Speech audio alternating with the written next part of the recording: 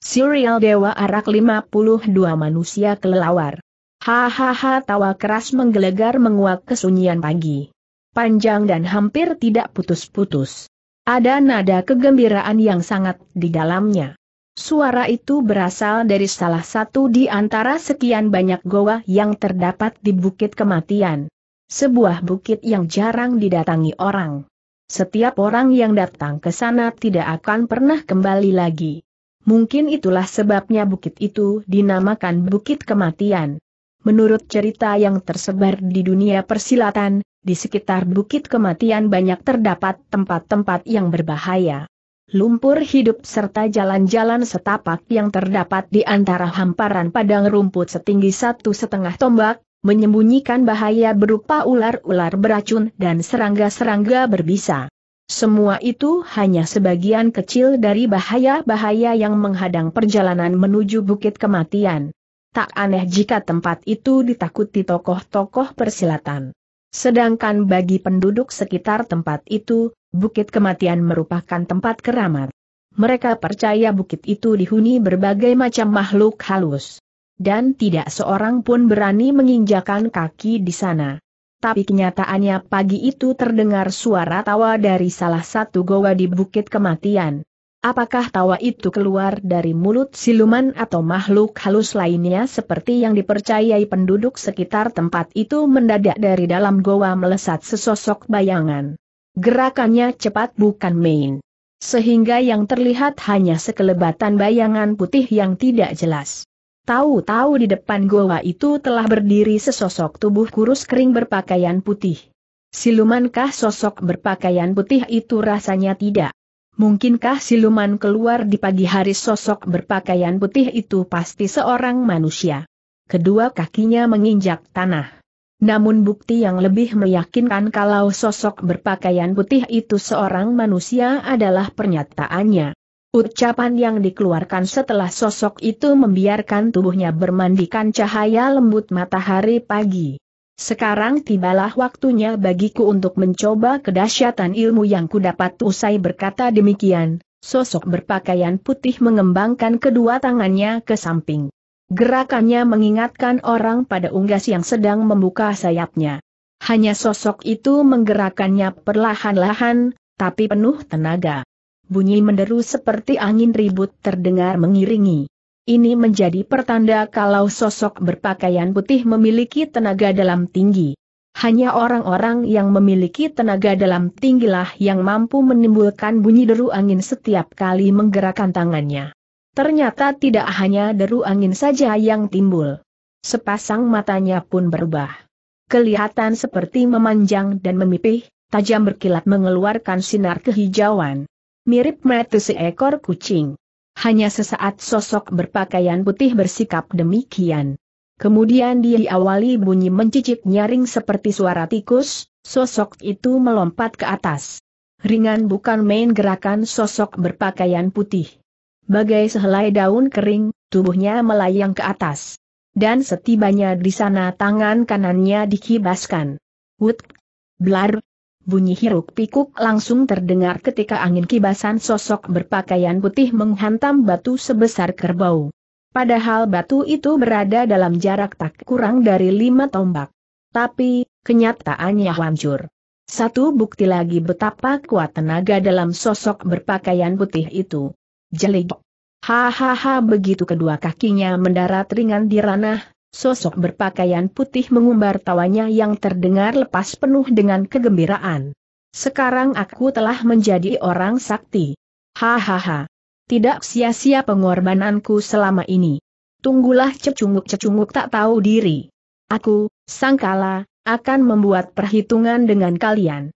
Hahaha masih dengan tawa yang tidak putus sosok berpakaian putih yang ternyata bernama Sangkala melesat pergi meninggalkan tempat itu luar biasa. Hanya dengan sekali lesatan tubuhnya telah berada belasan tombak di depan. Tanpa memiliki ilmu meringankan tubuh yang sangat tinggi jarak sejauh itu tidak akan bisa dicapai. Baru beberapa kali lesatan sangkala menghentikan larinya. Pandangannya diarahkan ke depan ke tempat terhamparnya padang rumput setinggi satu setengah tombak. Orang lain mungkin sulit melewati tempat ini. Tapi untukku, hahaha, tidak ada sesuatu pun yang dapat menghalangi langkahku. Sangkala akan menjadi jago nomor satu di dunia persilatan. Hahaha untuk kesekian kalinya Sangkala tertawa tergelak-gelak.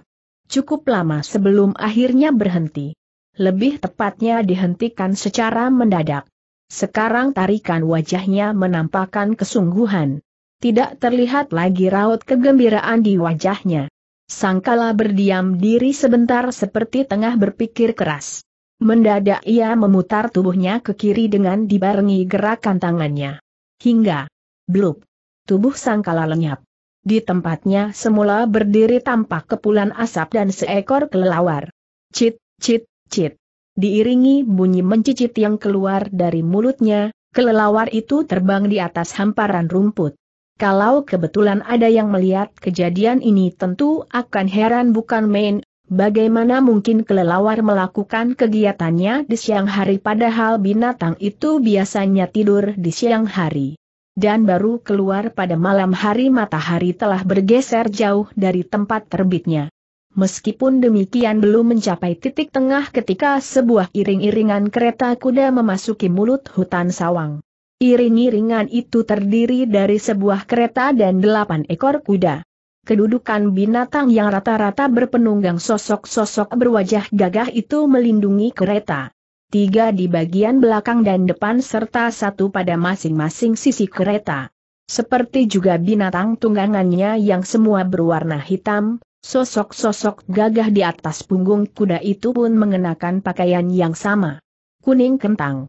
Pada bagian dada kiri tersulam gambar kepala seekor harimau. Pedang bergagang kepala harimau tampak di balik punggung mereka. Senjata-senjata itu membuktikan rombongan ini bukan terdiri dari orang-orang lemah. Menilik sikap sosok-sosok di atas punggung kuda hitam yang terlihat begitu melindungi kereta, bisa diperkirakan orang yang berada di dalamnya adalah orang penting. Hoop tiba-tiba salah satu dari tiga penunggang kuda terdepan mengangkat tangan kanannya ke atas seraya menarik tali kekang binatang tunggangannya. Seketika itu pula, rombongan yang berada di belakang tiga sosok itu menghentikan langkah kuda mereka. Dan seiring dengan itu, masing-masing sosok berpakaian kuning bersikap waspada. Mereka melihat sesosok tubuh berpakaian putih berdiri menghadang jalan. Salah seorang dari tiga penunggang kuda terdepan, seorang lelaki tegap berkumis tebal, melompat turun. Indah dan manis gerakannya. Bahkan ketika kedua kakinya didaratkan di tanah, tidak terdengar bunyi yang berarti. Itu pertanda ilmu meringankan tubuhnya cukup tinggi. Lalu dengan langkah dan sikap tenang, Lelaki berkumis tebal itu menghampiri sosok berpakaian putih yang terdiri dalam jarak sepuluh tombak di depannya. Tindakan lelaki berkumis tebal yang menjadi pimpinan iring-iringan itu tidak luput dari perhatian rekan-rekannya dan sosok berpakaian putih. Sosok berpakaian putih itu ternyata seorang pemuda yang berusia sekitar 25 tahun, kulit wajahnya pucat seperti lama tidak terkena sinar matahari. Seperti juga lelaki berkumis tebal, pemuda itu pun bersikap tenang. Kedua tangannya tetap dilipat di depan dada. Maaf, Kisanak. Bisakah kau menyingkir sebentar kami hendak lewat, dan sedang memburu waktu atas kesediaanmu kami mengucapkan terima kasih, ujar lelaki berkumis tebal pelan dan sopan. Bagaimana kalau aku tidak mau sahut pemuda berpakaian putih dingin? Seketika itu pula wajah lelaki berkumis tebal berubah. Sepasang matanya berkilat marah. Tapi hanya sebentar, sesaat kemudian raut wajahnya kembali seperti biasa. Rupanya lelaki berkumis tebal itu mampu menguasai perasaannya. Maaf, Kisanak. Mungkin perlu kau ketahui kami adalah orang-orang perguruan harimau terbang. Kebetulan aku pemimpin rombongan ini. Namaku Kulana. Saat ini kami sedang mendapat tugas yang harus cepat kami laksanakan. Kami tidak mempunyai banyak waktu. Sekali lagi ku minta kau menyingkir dari tempatmu, Kisanak. Berilah kami kesempatan untuk lewat. Cuh tanggapan dari pemuda berpakaian putih adalah semburan ludah ke tanah. Kasar dan menjijikan sekali caranya. Siapa pun kalian aku tidak peduli. Dari perguruan harimau terbang atau perguruan macan ompong bukan urusanku. Yang jelas kalau ingin lewat jalan ini kalian harus menyingkirkan aku keparat terdengar makian keras penuh kemarahan. Disusul kemudian dengan melompatnya seorang penunggang kuda yang tadi berada di sebelah Kulana. Dia seorang lelaki bertubuh pendek kekar. Biar aku yang melemparkan pemuda sombong itu, kakang pinta lelaki pendek kekar ketika telah berada di dekat Kulana. Kulana tidak segera menjawab.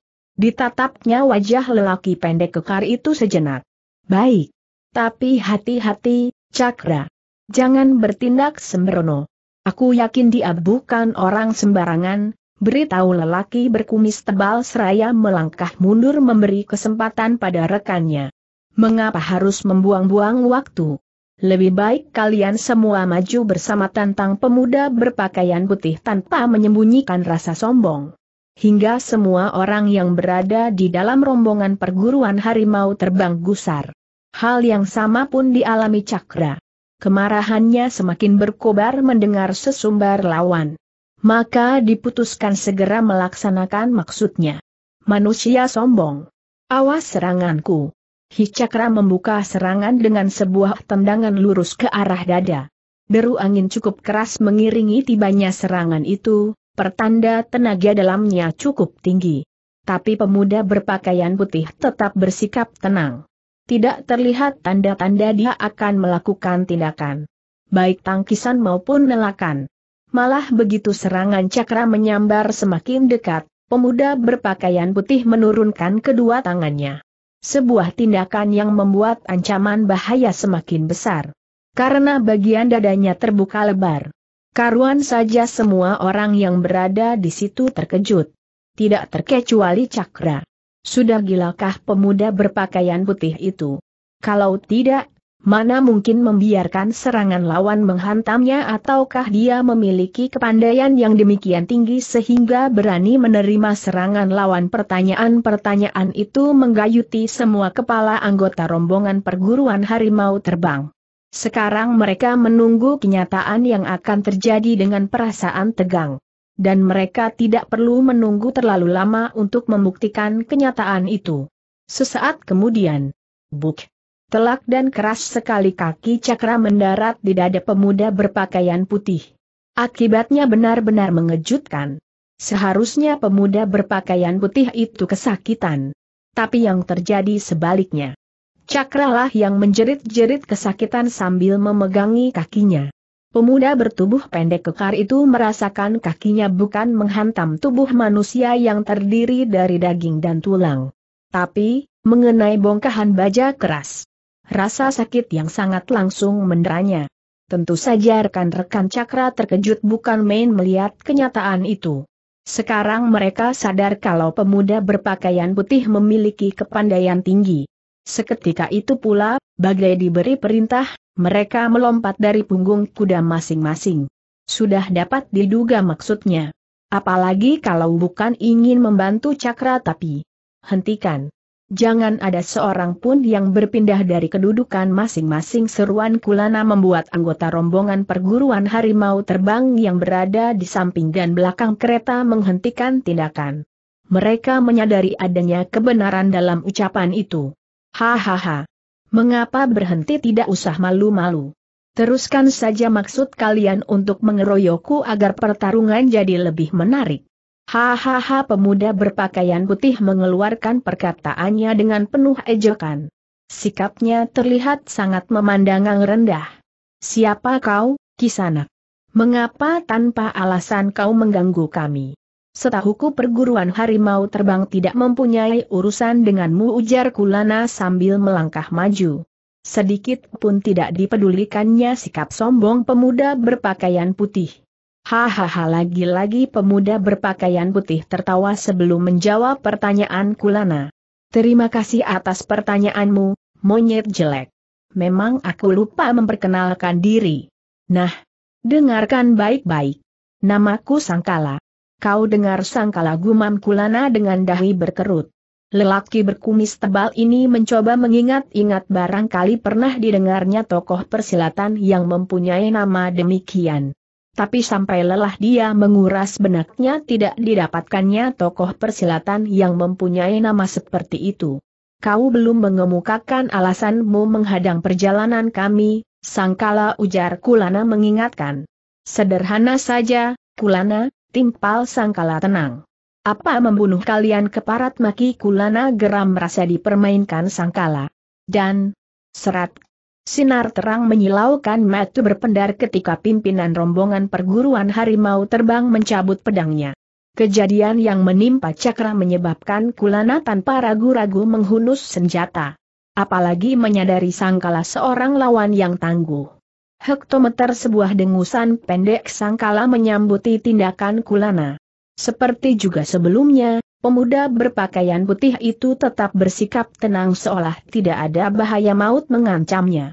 Cabut senjatamu, sangkala seru Kulana melihat pemuda berpakaian putih itu masih berdiam diri. Tidak usah berlagak gagah, Kulana Eje, sangkala, seranglah aku. Jangan ragu-ragu untuk mengeluarkan seluruh kemampuanmu, sombong. Ingat, sangkala. Bukan aku yang bertindak curang menyerang lawan yang tidak bersenjata. Tapi kau sendiri yang mengabaikan kesempatan yang kuberikan tidak usah banyak bicara. Kalau kau memang bukan pengecut, serang aku tanda sangkala tidak peduli. Wajah Kulana langsung merah padam. Sepasang matanya berkilat-kilat memancarkan amarah. Geram melihat sikap sangkala yang terlalu sombong. Maka, Haat diawali teriakan nyaring yang membuat suasana di sekitar tempat itu bergetar hebat Kulana melancarkan serangan perdananya. Pedangnya ditusukkan ke arah leher Sangkala. Cit! Bunyi mencicit dari udara yang robek terdengar ketika pedang Kulana meluncur menuju sasaran. Cepat bukan main luncuran serangan itu. Tapi masih lebih cepat gerakan Sangkala. Hanya dengan memiringkan kepalanya ke kanan, tanpa bergeser dari tempatnya semula, Sangkala membuat serangan itu kandas. Ujung pedang Kulana lewat beberapa jari di sebelah kiri leher Sangkala. Melihat serangan perdananya berhasil dilakukan lawan dengan mudah, Kulana jadi penasaran. Segera dikirimkan serangan susulannya. Pedangnya diayunkan mendatar ke arah leher. Wut! Untuk yang kedua kalinya babatan pedang Kulana hanya mengenai angin. Sangkala telah menarik kepalanya ke belakang. Dan hebatnya gerakan itu dilakukan tanpa menggeser kaki. Tapi Kulana tidak putus asa. Bahkan sebaliknya. Serangan-serangan yang dikirimkannya semakin dahsyat. Pedangnya berkelebatan cepat mengancam berbagai bagian berbahaya di tubuh Sangkala. Disertai bunyi mencicit yang menyakitkan telinga. Berturut-turut Kulana melancarkan serangan dahsyat tapi semua berhasil dipunahkan sangkala dengan mengelak tanpa menggeser kaki. Laksana bayangan, tubuhnya digerakkan ke sana kemari mengelakkan serangan Kulana. Hih Kulana menggertakkan gigi. Rasa marah dan sakit hati berkecamuk di hatinya melihat serangan demi serangan yang dikirimkan dipatahkan lawan dengan demikian mudah. Sekarang giliranku di antara bunyi riuh rendah berkelebatannya pedang Kulana terdengar seruan sangkala. Tapi Kulana yang tengah dilanda amarah tidak mempedulikannya. Lelaki berkumis tebal itu terus melancarkan serangan. Pedang di tangannya dikelebatkan ke berbagai bagian berbahaya di tubuh Sangkala. Namun, tap, AKH dua jeritan pendek bernada kaget keluar dari mulut Kulana ketika batang pedangnya berhasil dicengkeram Sangkala. Kejadiannya berlangsung sangat cepat dan tidak terduga-duga. Meskipun demikian Kulana tidak kehilangan akal. Secepat batang pedangnya tercengkeram secepat itu pula ditariknya seraya mengerahkan seluruh tenaga dalamnya. Tergambar di benaknya jari-jari sangkala putus tersayat mata pedangnya. Paling tidak tangan itu terluka. Dan bila hal itu terjadi sangkala pasti akan melepaskan cengkeramannya. Tapi harapan Kulana pupus pedang itu sekalipun tidak bergeming dari cengkeramana sangkala, seolah bukan dicengkeram tangan manusia tapi jepitan baja. Betapapun dikerahkan seluruh tenaganya, tetap saja tidak bergeming. Meskipun demikian Kulana tidak putus asa. Maksudnya tetap diteruskan sampai wajahnya merah padam dan napasnya tengah-engah. Berbeda dengan Kulana, keadaan Sangkala biasa saja. Tidak terlihat tanda-tanda pemuda itu mengerahkan tenaganya. Raut wajahnya tetap seperti semula. Tenang dan dingin. Semua kejadian itu disaksikan dengan jelas oleh semua anggota perguruan harimau terbang. Terutama Cakra dan rekannya yang berada di bagian depan. Tanpa diberitahu mereka mengerti pimpinannya berada dalam kedudukan yang tidak menguntungkan. Sadar jika keadaan itu dibiarkan akan membahayakan keselamatan Kulana, Cakra dan rekannya segera bertindak. Bagai telah disepakati sebelumnya, keduanya menghunus senjata dan melompat ke dalam kancah pertarungan. Sing sing sing.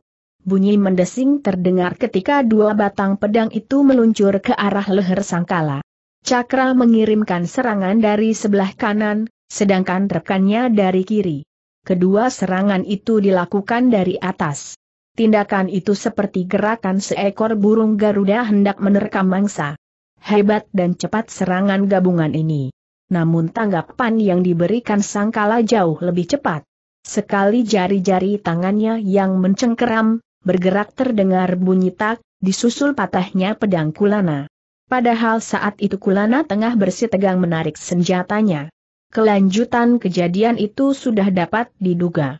Kulana terdorong deras ke belakang terbawa tenaga tarikannya. Potongan pedangnya tergenggam di tangan. Di saat itulah Sangkala bertindak. Tangan kanannya dikibaskan. Sinu. Seketika itu pula potongan pedang Kulana meluncur dalam kecepatan tinggi ke arah pemiliknya. Sementara Kulana masih terbawa tenaga tarikannya. Keadaan pimpinan rombongan perguruan harimau terbang sangat berbahaya. Tindakan Sangkala tidak berhenti sampai di situ. Kedua tangannya disampokkan ke atas. Turak, turak, cap. Akah luar biasa. Dalam waktu sekejap rentetan peristiwa itu terjadi. Kegagalan Cakra dan rekannya karena serangan mereka berhasil dipunahkan Sangkala dengan sampokan tangannya yang membuat pedang mereka patah hampir bersamaan dengan amblasnya potongan pedang Kulana di perut majikannya sendiri. Kulana memekik kesakitan. Kakang Cakra dan rekannya menjerit kaget melihat kejadian yang menimpa Kulana. Jeritan itu langsung keluar begitu keduanya berhasil mematahkan kekuatan yang membuat tubuh mereka melayang akibat sampokan sangkala. Seiring keluarnya jeritan itu Cakra dan rekannya meluruk ke arah Kulana yang berdiri limbong sambil memegangi perutnya. Sungguh tangguh daya tahan Kulana. Dia mampu berdiri di tanah dengan kedua kaki. Padahal potongan pedang amblas di dalam perutnya. Bukan hanya Cakra dan rekannya yang meluruk ke arah lelaki berkumis tebal itu. Anggota rombongan perguruan harimau terbang yang lainnya pun melakukan hal yang sama. Sedangkan Sangkala hanya tertawa-tawa. Tawa gembira penuh dengan nada ejekan. Masih dengan tawa yang tidak putus, Sangkala memperhatikan semua kesibukan rombongan perguruan harimau terbang. Tampak olehnya, Cakra dan kawan-kawannya mengerumuni Kulana. Tubuh pimpinan rombongan perguruan harimau terbang itu setengah terbaring di tanah. Kalau tidak ada tangan cakra yang menegakkan punggungnya, pasti tubuh Kulana terbaring. Kakang, kuatkan hatimu. Kau akan sembuh, Ken, ucap cakra terbata-bata dengan suara bergetar. Terlihat jelas kesedihan cakra, baik dalam nada suara maupun tarikan wajahnya. Gambaran perasaan yang sama membias di wajah semua anggota perguruan harimau terbang. Tidak. Cakra, hahaha, hahaha. Aku ti, tidak kuat lagi. Hahaha, hahaha. Lak, laksanakan tugas kalian se, sebaik-baiknya. Dan, AKH seiring dengan terkulainya kepala kulana nyawanya pun melayang ke alam baka. Ken, Kakang Kulana dengan kalap cakra mengguncang-guncangkan tubuh Kulana. Sikap lelaki pendek kekar itu menunjukkan ketidakkerlaannya akan kematian Kulana. Sebab Kulana adalah kakak kandung Cakra. Tawa gembira penuh ejekan membuat Cakra dan rekan-rekannya teringat kembali akan keberadaan Sangkala. Seiring dengan itu, perasaan geram dan keinginan untuk membalas dendam pun timbul. Tenangkanlah hatimu, Ken, akan kubalaskan semua sakit hatimu sambil berkata demikian, dengan hati-hati cakra membaringkan tubuh kulana di tanah. Kemudian dirinya kembali berdiri dan menatap sangkala. Terlihat jelas sinar kemarahan dan kebencian di sana. Ku bunuh kau, iblis keji desis cakra dengan suara bergetar. Lalu, serat, sinar terang berpendar ketika lelaki pendek kekar yang tengah dilanda amarah itu mencabut pedangnya. Bukan hanya cakra yang menghunus senjata. Enam rekannya pun melakukan tindakan yang sama. Dalam cekaman perasaan marah, rombongan perguruan harimau terbang seperti tidak mempedulikan sikap gagah lagi. Walaupun lawan yang akan dihadapi hanya seorang dan bertangan kosong. Sementara, mereka berjumlah tujuh orang. Dan masih ditambah lagi dengan senjata di genggaman. Kelihatan sangat tidak adil. Tapi Sangkala tidak mempedulikan hal itu. Sikap yang ditunjukkannya malah menyiratkan dia memandang remeh lawan-lawannya. Pemuda itu tetap tenang, meskipun rombongan perguruan harimau terbang telah melakukan penyerangan. Haat diawali teriakan keras, cakra yang sudah tidak kuat menahan amarahnya mulai bergerak. Rekan-rekannya mengikuti. Mereka tahu cakra bukan tandingan sangkala yang hebat. Kalau tidak dibantu, lelaki pendek kekar itu akan tewas di tangan lawan. Pertarungan pun tidak bisa dihindarkan lagi. Tujuh orang gagah dari perguruan harimau terbang menyerang laksana macan luka. Pedang-pedang di tangan mereka berkelebat cepat mengancam berbagai bagian tubuh Sangkala. Tapi Sangkala tetap tenang. Ditunggunya hingga serangan-serangan itu menyambar dekat.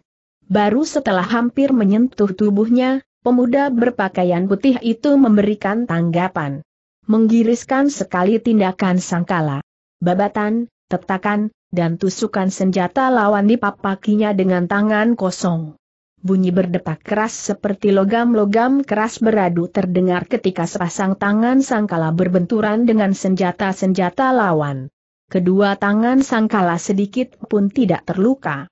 Malah sebaliknya, setiap kali terjadi benturan, tubuh anggota perguruan harimau terbang terhuyung-huyung ke belakang. Meskipun demikian, mereka tidak gentar. Tanpa mempedulikan rasa sakit, rombongan perguruan harimau terbang kembali melancarkan serangan. Pertarungan sengit kembali berlanjut tapi setelah pertarungan berlangsung hampir 10 jurus, rombongan perguruan harimau terbang harus mengakui kehebatan Sangkala. Sebenarnya sejak semula pun sudah dapat diketahui kalau Sangkala terlalu tangguh untuk dihadapi mereka. Cakra dan kawan-kawannya tak ubahnya semut-semut yang menerjang api, roboh sebelum berhasil mendekati sasaran. Hahaha. Hanya sampai di sinikah kemampuan kalian benar-benar mengecewakan ujar Sangkala keras mengatasi bisingnya suasana pertarungan. Jelas pemuda itu mengerahkan tenaga dalamnya. Tidak ada tanggapan dari anggota rombongan perguruan harimau terbang. Walaupun sebenarnya hati mereka terbakar karena perasaan geram yang melanda, yang dilakukan mereka hanya semakin memperhebat serangan. Tapi rupanya Sangkala tidak mempedulikan ada tanggapan atau tidak. Ini terbukti beberapa saat kemudian. Bersiaplah kalian. Sekarang aku akan membalas usai berkata, Sangkala menjejakkan kaki. Seketika itu pula tubuhnya mencelat tinggi ke atas melewati kepala para pengeroyoknya. Lalu, jelik. Ringan laksana daun kering, sangkala mendaratkan kedua kakinya di tanah di luar kepungan. Kemudian tanpa menunggu lebih lama lagi kedua tangannya dikembangkan seperti unggas membuka sayap. Sangkala menyusun jari-jarinya membentuk cakar aneh. Kaki kanannya berada di depan agak dijinjitkan. Sedangkan kaki kirinya di belakang sedikit menekuk. Inilah jurus kelelawar andalannya. Cukup aneh pembukaan jurus kelelawar sangkala. Tak heran jika rombongan perguruan harimau terbang terkejut bercampur heran. Tapi hanya sesaat Cakra dan kawan-kawannya dikungkung perasaan heran. Kemudian dengan diawali teriakan-teriakan keras memekakkan telinga, mereka meluruk ke arah sangkala. Pedang di tangan mereka siap dikelebatkan. Cit, cit, cit bunyi mendecit terdengar dari mulut sangkala. Nyaring dan menyakitkan telinga. Belum lagi gemas suara itu lenyap, sangkala melakukan tindakan yang sama dengan lawan-lawannya. Pemuda itu memapaki serbuan rombongan perguruan harimau terbang. Melihat kenyataan itu, Cakra tidak tinggal diam. Tanpa membuang-buang waktu mereka segera menyambut papakan sangkala dengan ayunan pedang. Sing sing sing. Krat, krat, krat. AKH, AKH, AKH rentetan kejadian itu berlangsung demikian cepat sehingga sulit untuk dirinci. Yang jelas, jeritan menyayat itu keluar susul menyusul dari mulut rombongan perguruan harimau terbang. Tubuh mereka berpentalan ke belakang. Jatuh berdebuk di tanah berkelojotan sejenak sebelum akhirnya diam untuk selamanya. Cakra dan rekan-rekannya tewas dengan mengenaskan. Cakar-cakar Sangkala telah meminta korban hahaha Sangkala tertawa tergelak keras dan penuh kegembiraan. Dipandanginya mayat ketujuh lawannya sejenak. Mereka korban kedahsyatan jurus kelelawarnya.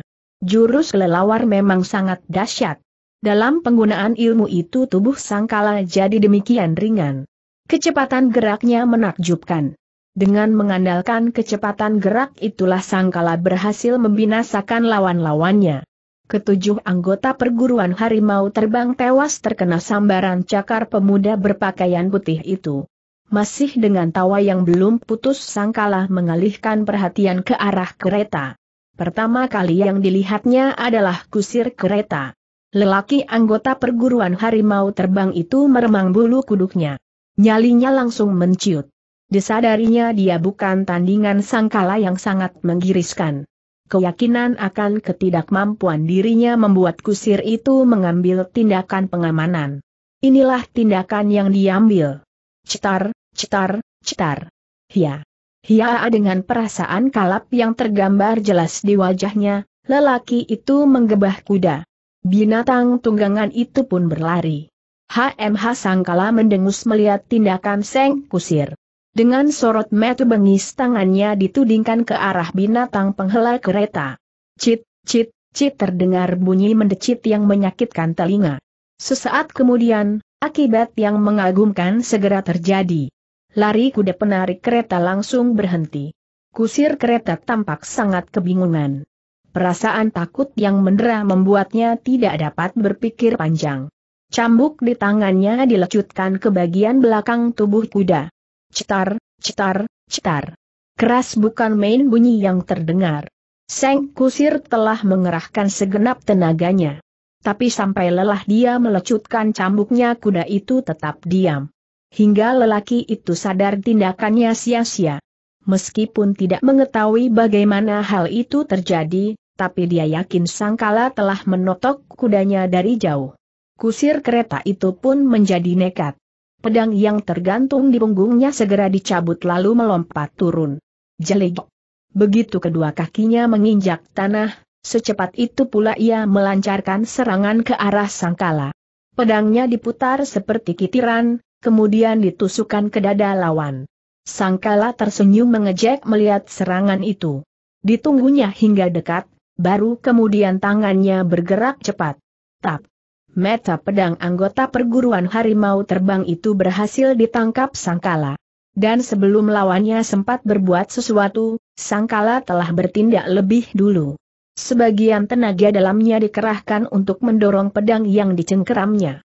Akibatnya, cap, AKH kusir kereta yang malang itu mengeluarkan jeritan menyayat ketika pedangnya menancap di perut hingga tembus ke punggung. Tentu saja dengan gagang lebih dulu. Wajah sisa anggota perguruan harimau terbang menegang menahan rasa sakit yang sangat. Sepasang matanya membelalak lebar. Namun itu hanya berlangsung sekejap. Begitu Sangkala melepaskan cekatannya, tubuh kusir itu pun ambruk dan seiring dengan robohnya tubuh itu nyawanya melayang ke alam baka. Hahaha entah untuk yang keberapa kali Sangkala mengumbar tawa kegembiraan. Hanya kali ini lebih singkat dari sebelumnya. Setelah menghentikan tawa, Sangkala mengayunkan langkah menghampiri kereta kuda. Kelihatannya sembarangan saja kakinya dilangkahkan, tapi hasil yang dicapai benar-benar menakjubkan. Sekali mengayun kaki pemuda itu telah berada di dekat kereta. Hibrak. Daun pintu kereta lepas dengan menimbulkan bunyi keras ketika tangan Sangkala yang berisi tenaga dalam menariknya. Aun teriakan melengking nyaring terdengar seiring jebolnya pintu kereta. Jeritan itu menunjukkan pemiliknya seorang wanita. Dugaan itu memang tidak salah. Di dalam kereta duduk dengan tubuh menggigil seorang gadis berusia sekitar 20 tahun. Meskipun sebagian wajahnya tertutup oleh kedua tangan, tampak wajahnya yang cantik. Kulitnya putih, halus, dan mulus. Pakaian indah berwarna hijau pupus membungkus tubuh montoknya. Agaknya gadis itu berasal dari keluarga berada. HMH sorot kekejaman segera membayang di wajah dan sepasang mata sangkala ketika melihat isi kereta. Sementara gadis berpakaian hijau semakin ketakutan. Disadarinya ada bahaya mengancam. Maka tanpa pikir panjang, masih dengan jeritan-jeritan minta tolong, dibukanya pintu kereta yang lain. Keriit. Seiring dengan terbukanya pintu kereta, gadis berpakaian hijau melompat keluar. Sudah bisa diduga maksudnya. Apalagi kalau bukan hendak melarikan diri akan lari ke mana kau, makhluk jahanam desis sangkala penuh ancaman. Tidak hanya itu saja. Tanpa merasa kasihan sedikit pun, diambilnya sebutir kerikil dan dilemparkan ke arah gadis berpakaian hijau. Wut, tuk, akah tubuh gadis berpakaian hijau tersungkur ke tanah diiringi jeritan kesakitan batu yang dilemparkan sangkala mengenai belakang lututnya. Gadis berpakaian hijau itu belum sempat berbuat sesuatu ketika sangkala melesat menyambar tubuhnya dan membawanya kabur. Tolong! Lepaskan aku, iblis keji teriak gadis berpakaian hijau, kalap. Tapi sangkala tidak peduli. Pemuda itu terus berlari. Hanya beberapa kali lesatan, tubuhnya telah lenyap dari tempat itu tiga apa kau mendengarnya, melati tanya seorang pemuda berpakaian ungu sambil menghentikan ayunan langkahnya. Saat itu pemuda berpakaian ungu tengah berjalan bersisian dengan seorang gadis berpakaian putih di dalam sebuah hutan. Mendengar apa, Kang gadis berpakaian putih yang dipanggil melati balas bertanya. Sepasang matanya yang bening dan indah menatap wajah pemuda berpakaian ungu penuh selidik. Pemuda berpakaian ungu yang berambut panjang, berwarna putih keperakan tidak segera menjawab. Dia tercenung sejenak seperti tengah memikirkan sesuatu. Teriakan minta tolong. Apa kau mendengarnya? Tanya pemuda berambut putih keperakan lebih jelas. Tidak, Kang Arya, jawab Melati setelah menelengkan kepala sebentar untuk mendengar jeritan yang dimaksud. Sekarang memang sudah tidak terdengar lagi, Melati, jawab pemuda berpakaian ungu yang tidak lain Arya Buana yang berjuluk Dewa Arak. Sejak tadi pun aku tidak mendengar apa-apa. Sebenarnya, apakah kau mendengarnya? Kang Melati jadi penasaran. Benar, Melati, Arya menganggukkan kepala, memang samar dan tidak begitu jelas. Tapi, aku tahu orang yang meminta tolong itu seorang wanita.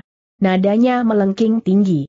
Sepertinya dia sangat ketakutan apakah tidak mungkin salah dengar saja.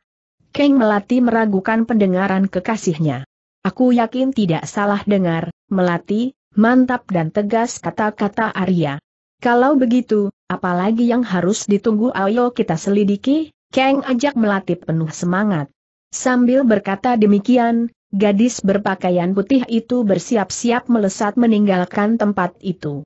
Tapi, sekujur urat-urat saraf dan otot-otot tubuhnya yang telah menegang langsung mengendur kembali. Arya tidak menunjukkan tanda-tanda akan meninggalkan tempat itu. Suara yang tertangkap telingaku terlalu lemah, melati. Jadi tidak bisa kupastikan dari mana datangnya.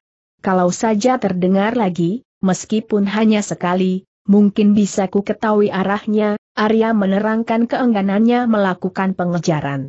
Bagaimana kalau kita mencarinya, Kang aku yakin asalnya dari hutan ini usul melati bersemangat. Pemuda berambut putih keperakan menatap wajah kekasihnya sebentar sebelum menganggukkan kepala menyetujui. Asal kau tahu saja, melati. Hutan ini cukup luas. Mencari asal suara tadi tanpa mengetahui arahnya seperti mencari jarum dalam tumpukan jerami. Sulit tapi, biar bagaimanapun itu lebih baik daripada kita berdiam diri di sini, Kang bantah melati tak mau kalah, aku yakin, kita akan berhasil menemukan sumber suara itu. Mudah-mudahan kita dapat menolongnya yang kau katakan tidak salah, melati, sahut Tarya membenarkan. Mari kita cari sumber jeritan itu, Melati menyunggingkan senyum manis. Sesaat kemudian, sepasang muda-mudi itu mulai melakukan pencarian. Mereka mencari dengan lambat karena mereka tidak tahu arah yang harus ditempuh. Sambil menindakkan kaki, pendengarannya dipasang tajam-tajam. Itu dilakukan karena sepercik harapan yang bergayut di hati. Barangkali saja jeritan itu kembali terdengar. Cukup lama juga pasangan pendekar muda itu mencari. Tak jarang mereka harus memapas semak-semak yang menghalangi jalan mereka. Sampai akhirnya, melati, sapaan Arya membuat gadis berpakaian putih itu menoleh. Ada apa? Kang tanya melati ingin tahu. Gadis itu tahu Arya tidak akan memanggilnya bila tidak ada sesuatu yang ingin diberitahu. Lihat itu, Melati, jawab Arya menudingkan telunjuknya ke tanah. Melati mengarahkan pandangan ke arah yang ditunjuk kekasihnya. Gadis itu melihatnya. Ada lekukan selebar dua jari di tanah tidak tertutup rumput. Lekukan itu memanjang. Jumlahnya tidak satu, tapi dua. Jarak antara keduanya terpisah sekitar setengah tombak.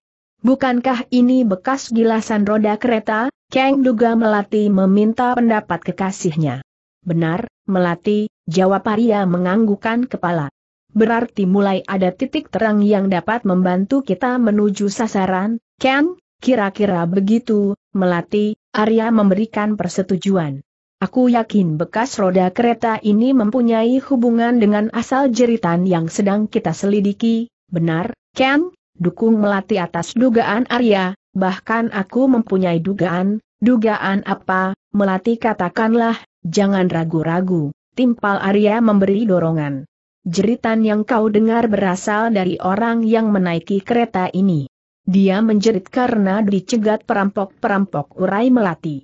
Arya mengangguk-anggukan kepala. Tampaknya pemuda itu menyetujui dugaan yang diajukan melati. Sekarang titik terang telah berhasil kita dapatkan. Melati.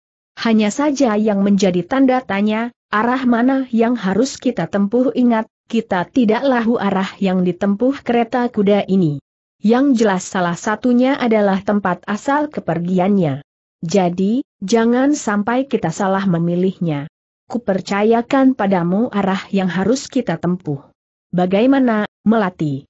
mana arah yang harus dipilih mendapat kepercayaan itu, Melati tidak berani bertindak sembarangan. Disadarinya kalau arah yang diambil benar, mereka akan menemukan pemilik suara itu. Bahkan bukan tidak mungkin dapat menyelamatkannya. Itu sebabnya Melati tidak segera menjawab. Diperhatikannya guratan roda kereta itu beberapa saat.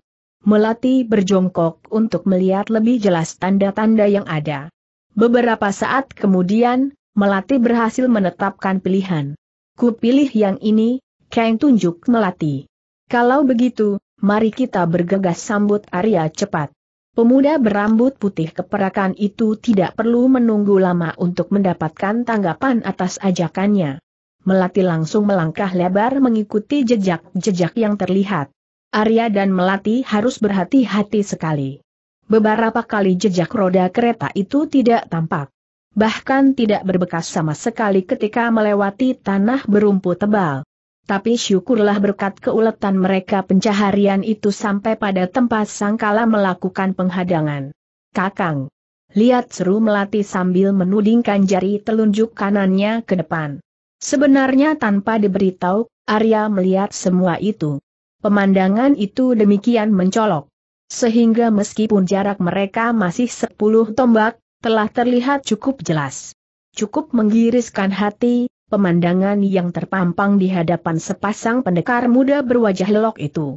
Mayat-mayat anggota perguruan harimau terbang berserakan di sana-sini dalam keadaan mengenaskan. Sementara tak jauh dari situ tampak sebuah kereta dengan binatang penghalanya yang masih berdiri kaku seperti patung. Melati yang mempunyai watak tidak sabarar, segera mengayunkan kaki mendekati tempat bergeletakannya mayat-mayat itu. Tapi, tunggu, Melati teriakan itu membuat Melati menghentikan maksudnya. Ditolehnya Arya dengan sorot mata penuh pertanyaan. Jangan bertindak gegabah. Siapa tahu pelaku semua kekejian ini belum pergi Arya menjelaskan maksud cegahannya. Melati terdiam. Ada kebenaran yang tidak bisa dibantah dalam ucapan kekasihnya. Maka meskipun kakinya tetap diayunkan mendekati tempat mayat-mayat itu tergolek, tindakannya lebih berhati-hati. Bukan hanya gadis berpakaian putih itu saja yang bersikap waspada. Dewa Arak pun demikian. Sekujur otot dan urat saraf mereka menegang. Pendengaran dan penglihatan mereka dipasang setajam mungkin, siap menghadapi segala kemungkinan. Tapi tindakan hati-hati yang dilakukan sepasang pendekar muda itu sia-sia. Sampai mereka berada dekat dengan mayat Kulana serta rekan-rekannya, kejadian yang tidak diharapkan tidak terjadi. Keadaan tetap aman. Bagaimana, Kang apa yang dapat kasimpulkan dari mayat-mayat ini tanya Melati tetap dengan sikap waspada. Dewa Arak tidak segera memberikan tanggapan. Pemuda itu tercenung beberapa saat mencari jawaban. Tidak banyak, Melati. Tapi yang jelas dugaanmu harus diperbaiki. Tidak benar orang-orang ini terbunuh karena dicegat perampok, ya ah desah Melati pelan. Rasanya kau benar, Kang, Mayat-mayat itu sepertinya berasal dari satu kelompok. Kurasa kepandaian mereka cukup tinggi.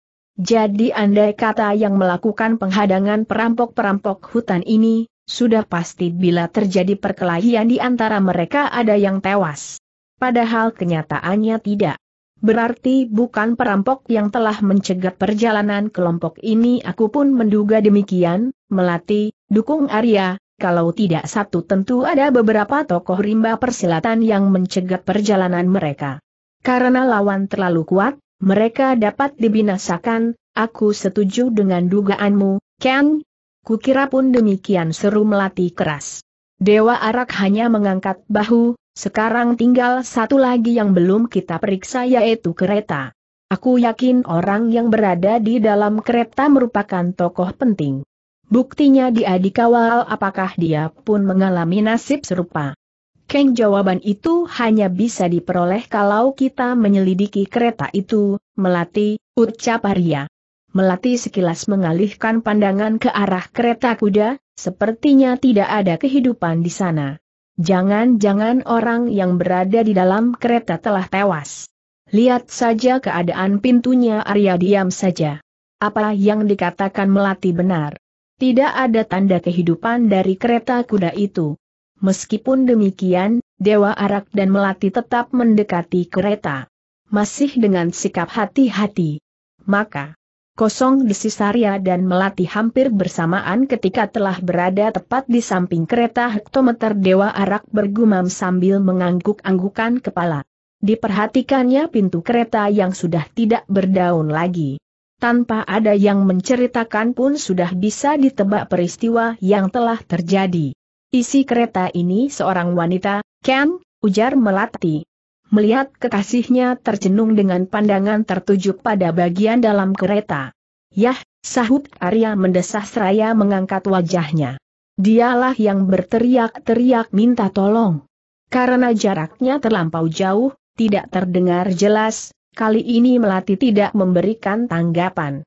Gadis itu berdiam diri. Kita semakin mendekati sasaran, Melati.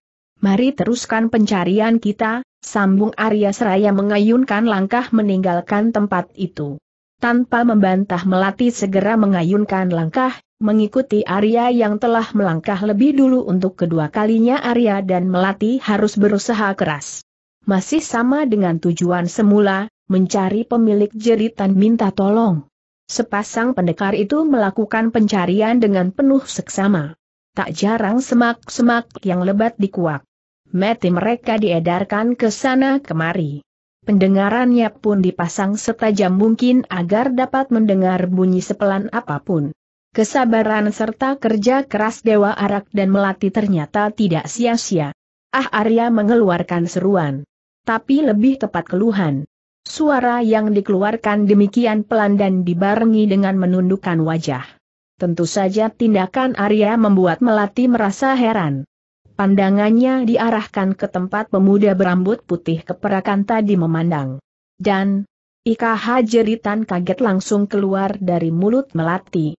Tanpa sadar tangan kanannya ditutupkan ke mulut. Memang tidak aneh kalau Melati sampai demikian terkejut dan Arya menundukkan kepala. Tidak jauh dari mereka, dalam jarak sekitar tiga tombak, terpampang tubuh seorang gadis berpakaian hijau dalam keadaan mengerikan. Betapa tidak tubuhnya menempel di sebatang pohon besar dengan kedudukan tangan dan kaki merentang, keadaannya amat menggiriskan hati. Hampir sekujur tubuhnya dipenuhi darah oleh luka-luka sayatan. Bahkan warna pakaiannya sebagian besar telah berganti merah karena noda darah.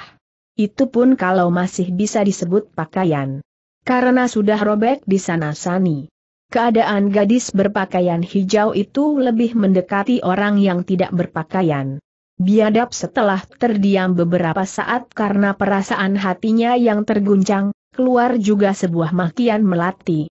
Tarikan wajah dan sorot matanya memancarkan kemarahan yang sangat. Keji sambung Arya Gram, siapa pun pelakunya, dia tidak pantas dibiarkan hidup lebih lama dengan perasaan marah berkobar di dada, Arya dan Melati menghampiri. Jarak yang cukup jauh membuat mereka tidak dapat melihat mengapa tubuh gadis berpakaian hijau itu dapat menempel di batang pohon. Hanya dalam beberapa langkah pasangan pendekar muda itu dapat mengetahui kenyataan itu membuat kemarahan mereka semakin bergejolak. Iblis hampir bersamaan makian itu keluar dari mulut Arya dan Melati. Itu terjadi ketika keduanya telah melihat mengapa tubuh gadis malang itu dapat menempel pada batang pohon. Pada kedua telapak tangan dan kakinya ditancapkan ranting sebesar ibu jari yang tembus hingga ke batang pohon. Keji. Kalau aku tidak dapat menemukan dan membasmi iblis keji ini, biar aku mati saja janji Arya sungguh-sungguh. Untuk pertama kalinya Dewa Arak mengambil keputusan akan membunuh calon lawannya padahal tokoh itu belum dilihatnya. Kau benar, Ken? Tanganku pun sudah gatal ingin segera mencekik hancur batang leher iblis keji itu sambung melati tidak kalah geramnya. Nanti itu akan kita lakukan, melati. Sekarang yang paling penting menguburkan mayat gadis itu. Lakukanlah, melati, perintah Arya. Ah Dewa Arak berseru tertahan. Melihat perubahan wajah kekasihnya, Melati mengarahkan pandangan ke tempat pemuda berambut putih keperakan tadi memandang. Dan, IKH jerit Melati terkejut saat melihat mayat seorang gadis yang sekujur tubuhnya dipenuhi darah bekas luka-luka sayatan. Gadis berpakaian putih segera melaksanakan perintah kekasihnya. Hanya dengan sekali hentakan tubuhnya melayang ke atas. Entah bagaimana caranya gadis itu melakukan, tapi begitu tubuhnya melayang turun, di tangannya terpondong tubuh gadis berpakaian hijau. Jelig. Ringan laksana sehelai daun kering melati menjejakkan kedua kakinya di tanah. Kemudian bersama-sama Arya dicarinya tempat yang cocok untuk menguburkan gadis berpakaian hijau yang malang itu. Baik Arya maupun Melati tidak tahu kalau gerak-gerik mereka diperhatikan seekor kelelawar. Kalau diperhatikan memang aneh. Mungkinkah ada kelelawar berkeliaran di siang hari jawabannya adalah mustahil. Tapi karena kelelawar itu penjelmaan sangkala, ketidakmungkinan itu bisa saja terjadi. Kelelawar hitam itu terus mengawasi perbuatan pasangan pendekar muda itu. Bahkan sampai melati menguburkan mayat gadis berpakaian hijau. Sepasang matanya berpijar ketika mendengar ucapan melati seusai menguburkan mayat gadis itu. Siapa pun dirimu, aku berjanji akan membalas sakit hatimu. Akan kucari pelaku tindak kekejian ini ucap Melati sambil mendongakkan wajah. Hahaha Arya menghela napas berat mendengar ucapan kekasihnya. Tidak dicegahnya Melati mengucapkan janjinya. Pemuda itu tahu Melati merasa geram pada pelaku kekejian itu. Dia pun dilanda perasaan yang sama. Perlahan-lahan ditepuk-tepuknya pundak melati untuk memberi ketabahan hati. Gadis berpakaian putih itu menoleh menatap wajah Arya sejenak. Kemudian wajahnya dijatuhkan di pelukan kekasihnya. Pemuda berambut putih keperakan itu mengusap-usap kepala melati penuh kasih. Mari kita cari pelaku kekejian ini, melati. Aku yakin dia belum pergi jauh. Darah gadis yang malang itu masih hangat, ajak Arya pelan. Melati hanya bisa menganggukkan kepala. Sesaat kemudian pasangan pendekar muda itu melangkah meninggalkan tempat itu empat cit, cit, cit diiringi suara mendecit nyaring, kelelawar berbulu hitam meluncur turun dari pohon tempatnya bertengger. Binatang malam itu turun ketika Arya dan Melati telah jauh meninggalkan tempat itu. Blub bunyi letupan pelan terdengar. Disusul dengan munculnya asap putih yang cukup tebal. Sebelum asap itu sirna dari pandangan, berdiri tegak seorang pemuda berpakaian putih yang tidak lain sangkala. Pemuda itu menatap kuburan gadis berpakaian hijau dengan sinar mata yang sulit diartikan. Kau korban pertamaku, wanita sundal. Masih banyak lagi wanita lain yang akan bernasib sama sepertimu, desis sangkala dengan nada kejam sehingga terdengar menyeramkan. Yang lebih menyeramkan lagi suara itu dikeluarkan tanpa menggerakkan bibir sedikit pun. Dari sini bisa diduga ketinggian ilmu pemuda berpakaian putih itu. Hanya orang-orang yang berkepandaian tinggilah yang mampu melakukan hal itu. Trijati, sebenarnya kaulah yang harus jadi korban pertamaku, desis sangkala masih tanpa menggerakkan bibir. Tapi biarlah kau menjadi korban berikutnya. Mengucapkan nama Trijati membuat sangkala teringat akan kejadian beberapa bulan lalu. Kejadian yang membuatnya tersesat ke bukit kematian matahari belum menampakkan diri. Hari masih terlalu pagi.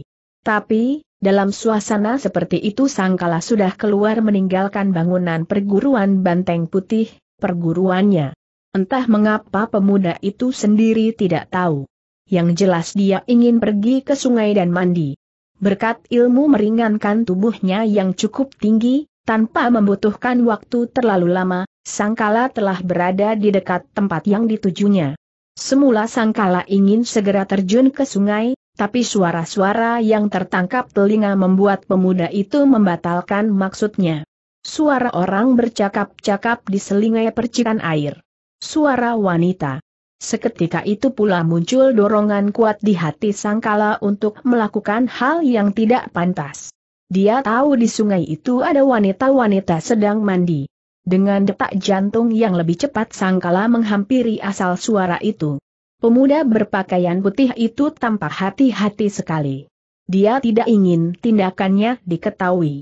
Usaha sangkala tidak sia-sia. Pemuda itu berhasil mencapai tempat yang diinginkan untuk melakukan tindakan tidak pantasnya. Sangkala bersembunyi di balik sebuah batu besar dan mengintai ke sungai. Debok. Dada sangkala bagai diseruduk kerbau liar ketika melihat pemandangan yang terpampang di hadapannya. Dua orang gadis tengah mandi di sungai dalam keadaan bugil. Dalam keremangan suasana dini hari tampak cukup jelas lekuk-lekuk tubuh dua gadis itu. Dengan susah payah sangkala menelan ludah membasahi tenggorokannya yang mendadak terasa kering. Dua gadis itu dikenalnya betul. Mereka adalah kembang-kembang desanya desa Kawung. Wulan dan Widuri nama gadis itu. Sangkala merayapi tubuh Wulan dan Widuri dengan lahap. Memang diam-diam Sangkala menaruh hati pada kembang-kembang desa Kawung itu. Sayangnya Sangkala bukan termasuk lelaki yang berani mendekati wanita. Tambahan lagi wajahnya tidak bisa diandalkan.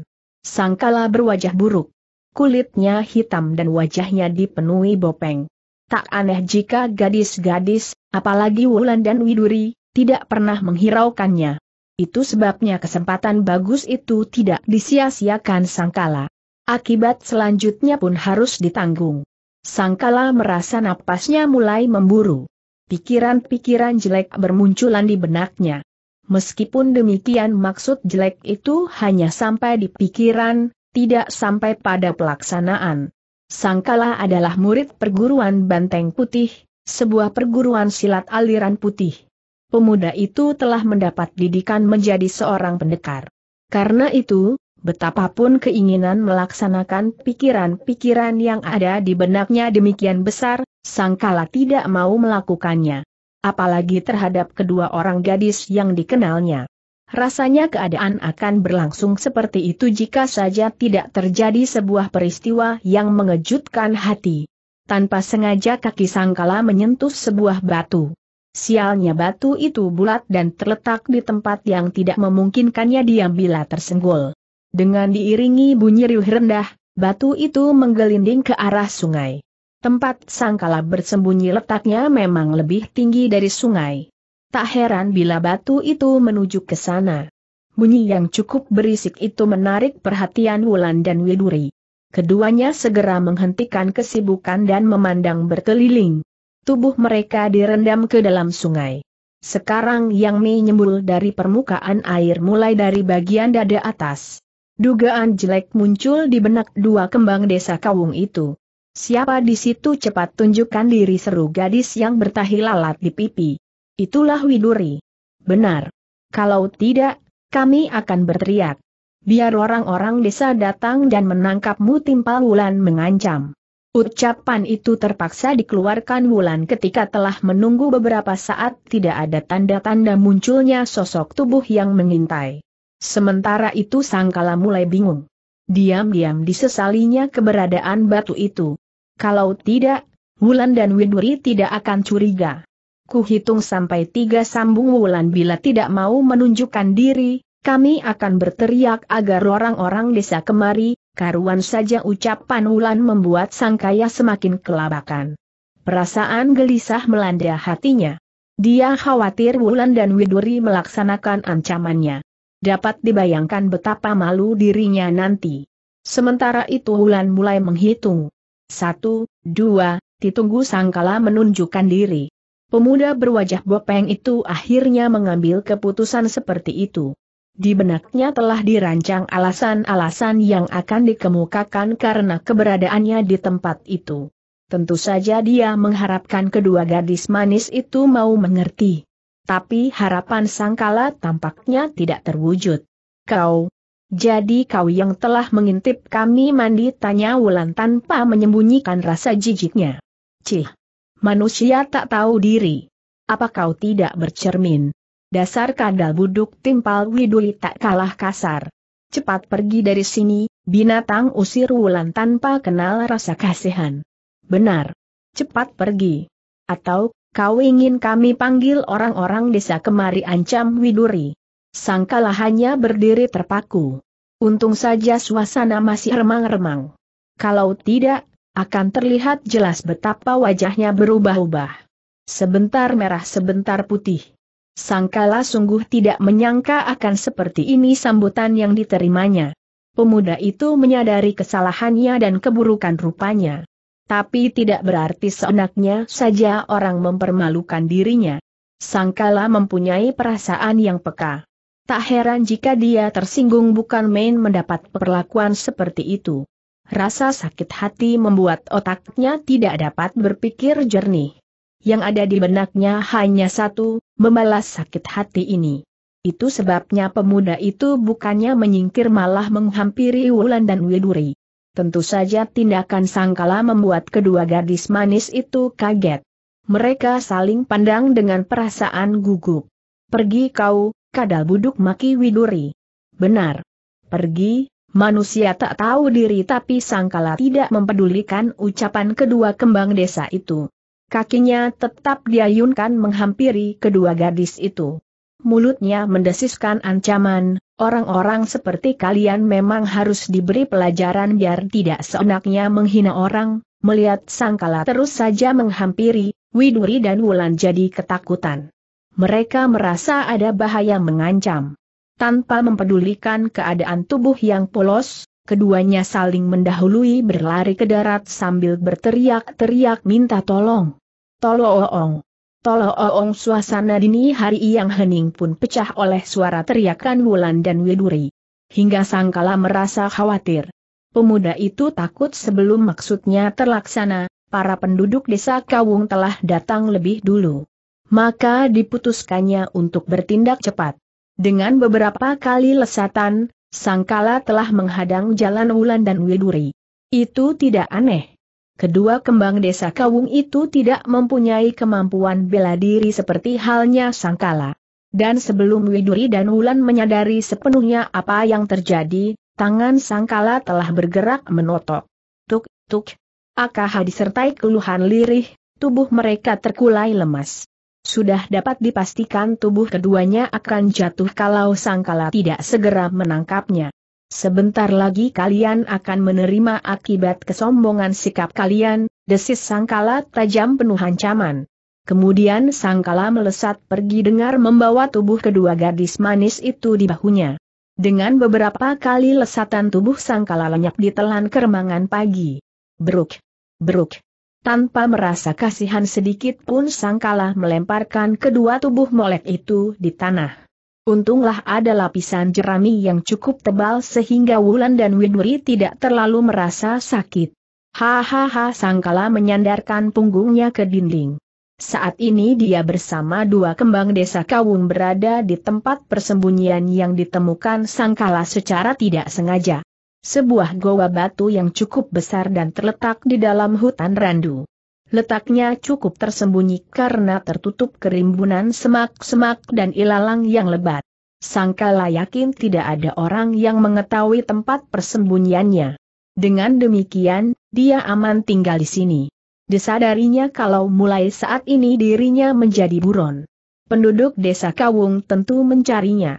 Gurunya pun tidak akan tinggal diam. Ketua perguruan Banteng Putih itu pasti marah besar. Sudah pasti Ki Ageng Sora, gurunya, akan mengutus anggota perguruan Banteng Putih untuk mencarinya. Keyakinan bahwa tempatnya tidak akan bisa ditemukan membuat Sangkala mengalihkan perhatian pada tubuh Widuri dan Wulan yang tergolek dalam keadaan tanpa sehelai benang pun. Seketika itu nafsu Bifai Sangkala kembali bangkit dengan napas agak memburu dan langkah lebar didekatinya Wulan dan Widuri. Sementara kedua kembang desa Kawung dilanda rasa takut yang sangat. Mereka menyadari bahaya mengerikan yang tengah mengancam. Sayang tidak ada yang dapat mereka lakukan kecuali menatap Sangkala dengan ngeri. Hihihi Sangkala terkekeh. Terlihat jelas pemuda berwajah bopeng itu gembira. Itu memang tidak salah. Sangkala gembira melihat sorot kengerian dalam wajah maupun sinar mata Wulan dan Widuri. Padahal biasanya wajah dan sinar mata kedua gadis itu selalu penuh hinaan dan cemoohan bila menatap ke arahnya. Sekarang akan kalian rasakan pembalasanku, wanita-wanita sombong ujar Sangkala bergetar penuh dendam, mau atau tidak kalian harus menuruti keinginanku usai berkata, dengan penuh nafsu Sangkala menindih tubuh Wulan. Dengan kasar diciuminya sekujur tubuh gadis itu. Tidak hanya itu. Kedua tangannya bergerak liar ke sana kemari. Meremas apa yang dapat diremas dengan kasar. Tidak ada yang dapat dilakukan Wulan untuk mencegah tindakan Sangkala. Tubuhnya terasa lemas. Bahkan gadis itu tidak mampu mengeluarkan suara karena Sangkala telah menotok urat bicaranya. Yang dapat dilakukan Wulan hanya menangis tanpa suara. Menangis karena takut bahaya yang tengah mengancamnya dan tindakan sangkala yang kasar. Semua kejadian itu disaksikan Widuri dengan perasaan ngeri. Disadarinya nasib yang dialami Wulan akan menimpanya pula.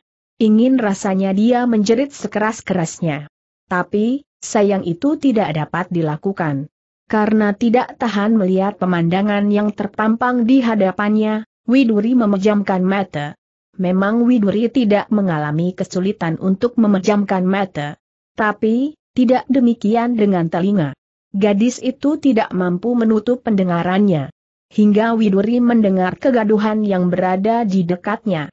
Kegaduhan yang tercipta di saat Sangkala menggumuli Wulan. Sebenarnya suara gaduh itu tidak dapat terjadi. Urat bicara Wulan telah ditotok sehingga tidak dapat mengeluarkan suara. Jangankan rintihan atau makian, bisikan pun gadis itu tidak mampu.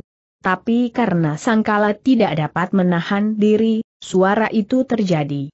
Dalam menikmati tubuh Wulan, dari mulut Sangkala keluar bunyi riuh rendah seperti kucing kelaparan diberi ikan. Kegaduhan yang berasal dari mulut sangkala yang tidak dapat dicegah Widuri masuk ke telinga. Sehingga meskipun tidak melihat kejadiannya, Widuri tetap merasa tersiksa. Apalagi kegaduhan itu berlangsung lama. Sepertinya Sangkala tidak berniat segera mengakhiri permainannya. Dan ketika Widuri sudah hampir tidak kuat terus-menerus memejamkan mata, kegaduhan itu baru berakhir. Ini membuat Widuri merasa ngeri. Terhentinya kegaduhan itu pertanda Sangkala telah menyelesaikan kebiadabannya. Berarti kegadisan Wulan telah dilahapnya. Kini gilirannya hanya tinggal menunggu waktu. Kalau saja dapat, ingin rasanya Widuri membunuh diri. Tapi apa daya gadis itu tidak mampu menggerakkan anggota tubuhnya. Dugaan Widuri ternyata tidak meleset. Dirinya pun tidak luput dari kebiadaban Sangkala. Sama seperti Wulan, Widuri tidak mampu berbuat apa-apa. Yang dapat dilakukannya hanya mengucurkan air mata, tanpa suara, diiringi jeritan pilu di hati. Berbeda dengan Widuri dan Wulan, Sangkala yang telah gila oleh amukan nafsu birahi dan rasa sakit hati malah bergembira. Tanpa rasa kasihan sedikit pun dijarahnya sekujur tubuh kedua gadis kembang desa Kawung dengan tidak pernah merasa puas. Kesenangan membuat Sangkala lupa diri. Yang ada di benaknya hanya memuaskan nafsu birahi. Tidak dipikirkannya kemungkinan penduduk desa Kawung menemukan tempat persembunyiannya.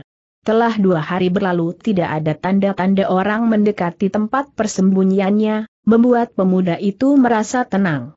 Bagaimana mungkin orang dapat menemukan tempat persembunyianku pikir Sangkala meremehkan. Dia tidak pernah keluar dari tempatnya. Makanan dan minuman tersedia di situ. Meskipun hanya buah-buahan dan air gunung. Di goa itu memang banyak terdapat pohon buah.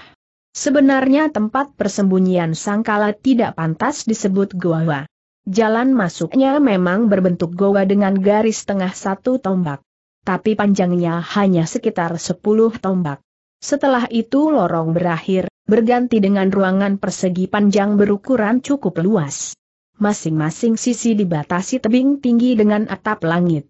Di ruangan luas itulah tumbuh berbagai jenis pohon dan terdapat sebuah danau kecil. Tempat yang dipilih Sangkala adalah dinding tebing tempat lorong goa. Di situ terdapat celah yang cukup luas. Jadi tempat yang dipilihnya beratapkan dinding tebing. Karena berada di lekukan tebing, tempat Sangkala cukup terlindung. Baik dari sinar matahari maupun hujan. Hanya saja tidak terlindung dari hembusan angin. Perasaan yakin yang sangat akan keamanan tempatnya menyebabkan Sangkala dapat bersenang-senang dengan tenang. Demikian pula siang itu. Setelah puas menikmati tubuh Widuri, entah untuk yang keberapa, dan beristirahat sejenak, Sangkala segera beranjak mendekati pohon jambu untuk menikmati makan siang. Dalam beberapa langkah, pemuda itu telah berada di dekat pohon jambu air yang berwarna putih. Lincah laksana kera dia memanjat kemudian memetiki buahnya dan ditaruh dalam kantung yang telah disiapkan. Sehabis memetik jambu, seperti biasa, Sangkala akan memandikan Wulan dan Widuri, lalu memberinya makan. Tentu saja Sangkala membebaskan totokannya agar kedua kembang desa kawung itu dapat makan. Tapi siang ini, di saat Sangkala tengah sibuk memetik jambu, penduduk desa Kawung yang dipimpin ketua perguruan Banteng Putih dan kepala desa Kawung telah berhasil menemukan goa yang terlindung semak-semak itu. Setelah dua hari mereka menjelajahi seluruh penjuru hutan. Aku yakin dia berada di sini, Kirawung, ucap Ki Ageng Sora, ketua perguruan Banteng Putih, sambil menudingkan jari telunjuknya ke arah goa yang berada tak jauh di depan mereka. Kirawung, Kepala desa Kawung, bertubuh kecil kurus itu tidak segera menanggapi ucapan Ki Ageng Sora. Ditatapnya wajah ketua perguruan banteng putih itu sejenak. Bagaimana kalau Sangkala tidak berada di sini? Ki Ageng tanya Ki Rawung merasa tidak yakin. Kalau demikian, aku tidak tahu lagi harus mencari ke mana, Ki. Hampir seluruh isi hutan ini telah kita jelajahi Ki Ageng Sora menghentikan ucapannya sejenak untuk mengambil napas. Benaknya diputar mencari kata-kata yang tepat untuk melanjutkan uraiannya. Sementara murid-muridku yang ku sebar untuk menanyakan kepada penduduk sekitar, barangkali melihat ke mana murid murtadku itu kabur, mendapat jawaban yang tidak memuaskan. Tidak ada seorang pun yang melihat Sangkala. Jadi kesimpulanku, Sangkala ada di hutan ini. Aku yakin di gua inilah Sangkala bersembunyi tanda Ki Ageng Sora sangat yakin. Raut keyakinan tampak jelas pada wajah dan sepasang mata lelaki yang memiliki potongan kurang cocok untuk menjadi seorang ketua perguruan silat itu. Betapa tidak tubuh kakek itu tinggi kurus. Bahkan terlalu kurus hingga mirip batang bambu. Kulitnya yang hitam berkilat tampak semakin hitam karena terbungkus pakaian serba putih. Sepasang matanya menjorok jauh di dalam rongganya, mirip mata orang yang penyakitan. Tapi justru sepasang metu itulah yang menjadi bukti bahwa Ki Ageng Suara bukan orang sembarangan. Matanya tajam berkilat. Sikapnya pun terlihat berwibawa. Tarikan wajah maupun nada bicaranya membuat orang yang mendengarnya merasa segan. Hal demikian pula yang dialami Ki Rawung. Mendengar uraian Ki Ageng Sora, kepala desa Kawung itu tidak membantah lagi. Dia hanya mengangkat bahu dan menyerahkan keputusan itu pada Ki Ageng Sora. Dan lelaki tinggi kurus itu tidak membuang-buang waktu dengan berdiam diri di situ. Mari kita masuk. Tapi ingat, hati-hati. Barangkali saja ada jebakan di dalamnya, beritahu Ki Ageng Sora. Maka dengan dipimpin ketua perguruan Banteng Putih, rombongan penduduk desa Kawung dan murid-murid perguruan Banteng Putih berbondong-bondong masuk ke dalam goa. Ki Ageng Sora yang berada paling depan bertindak sangat hati-hati. Sementara di belakangnya berbaris satu-satu Ki Rawung, murid-murid perguruan Banteng Putih, serta para penduduk desa Kawung. Tidak berapa lama kemudian Ki Ageng Sora melihat sinar terang. Sebagai seorang yang kenyang pengalaman dia segera tahu, di sana terdapat dunia luar. Dengan kata lain, goa tersebut berakhir di sana. Setelah melangkah beberapa tindak lagi, ketua perguruan Banteng Putih telah berada di bagian akhir lorong goa. Sesampainya di sana, wajah Ki Ageng Sora berubah hebat. Wajahnya menampakkan rasa kagetnya yang sangat. Tapi meskipun begitu kakinya tetap dilangkahkan lima widuri, Wulan. Panggilan itu hanya dikeluarkan Ki Ageng Sora dalam hati. Dia khawatir ucapan itu akan didengar sangkala yang diyakininya berada di dekat situ. Di samping itu, ketua perguruan Banteng Putih tidak ingin menimbulkan kegemparan pada rombongannya. Dikhawatirkan bila hal itu terjadi sangkala akan menyadari adanya bahaya dan mempergunakan kedua kembang desa itu sebagai sandera.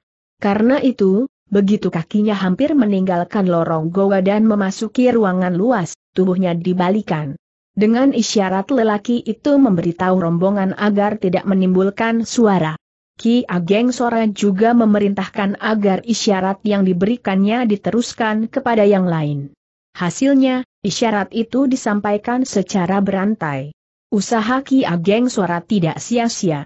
Ketika semua anggota rombongan melihat keadaan Wulan dan Widuri, sama sekali tidak terdengar seruan kekagetan.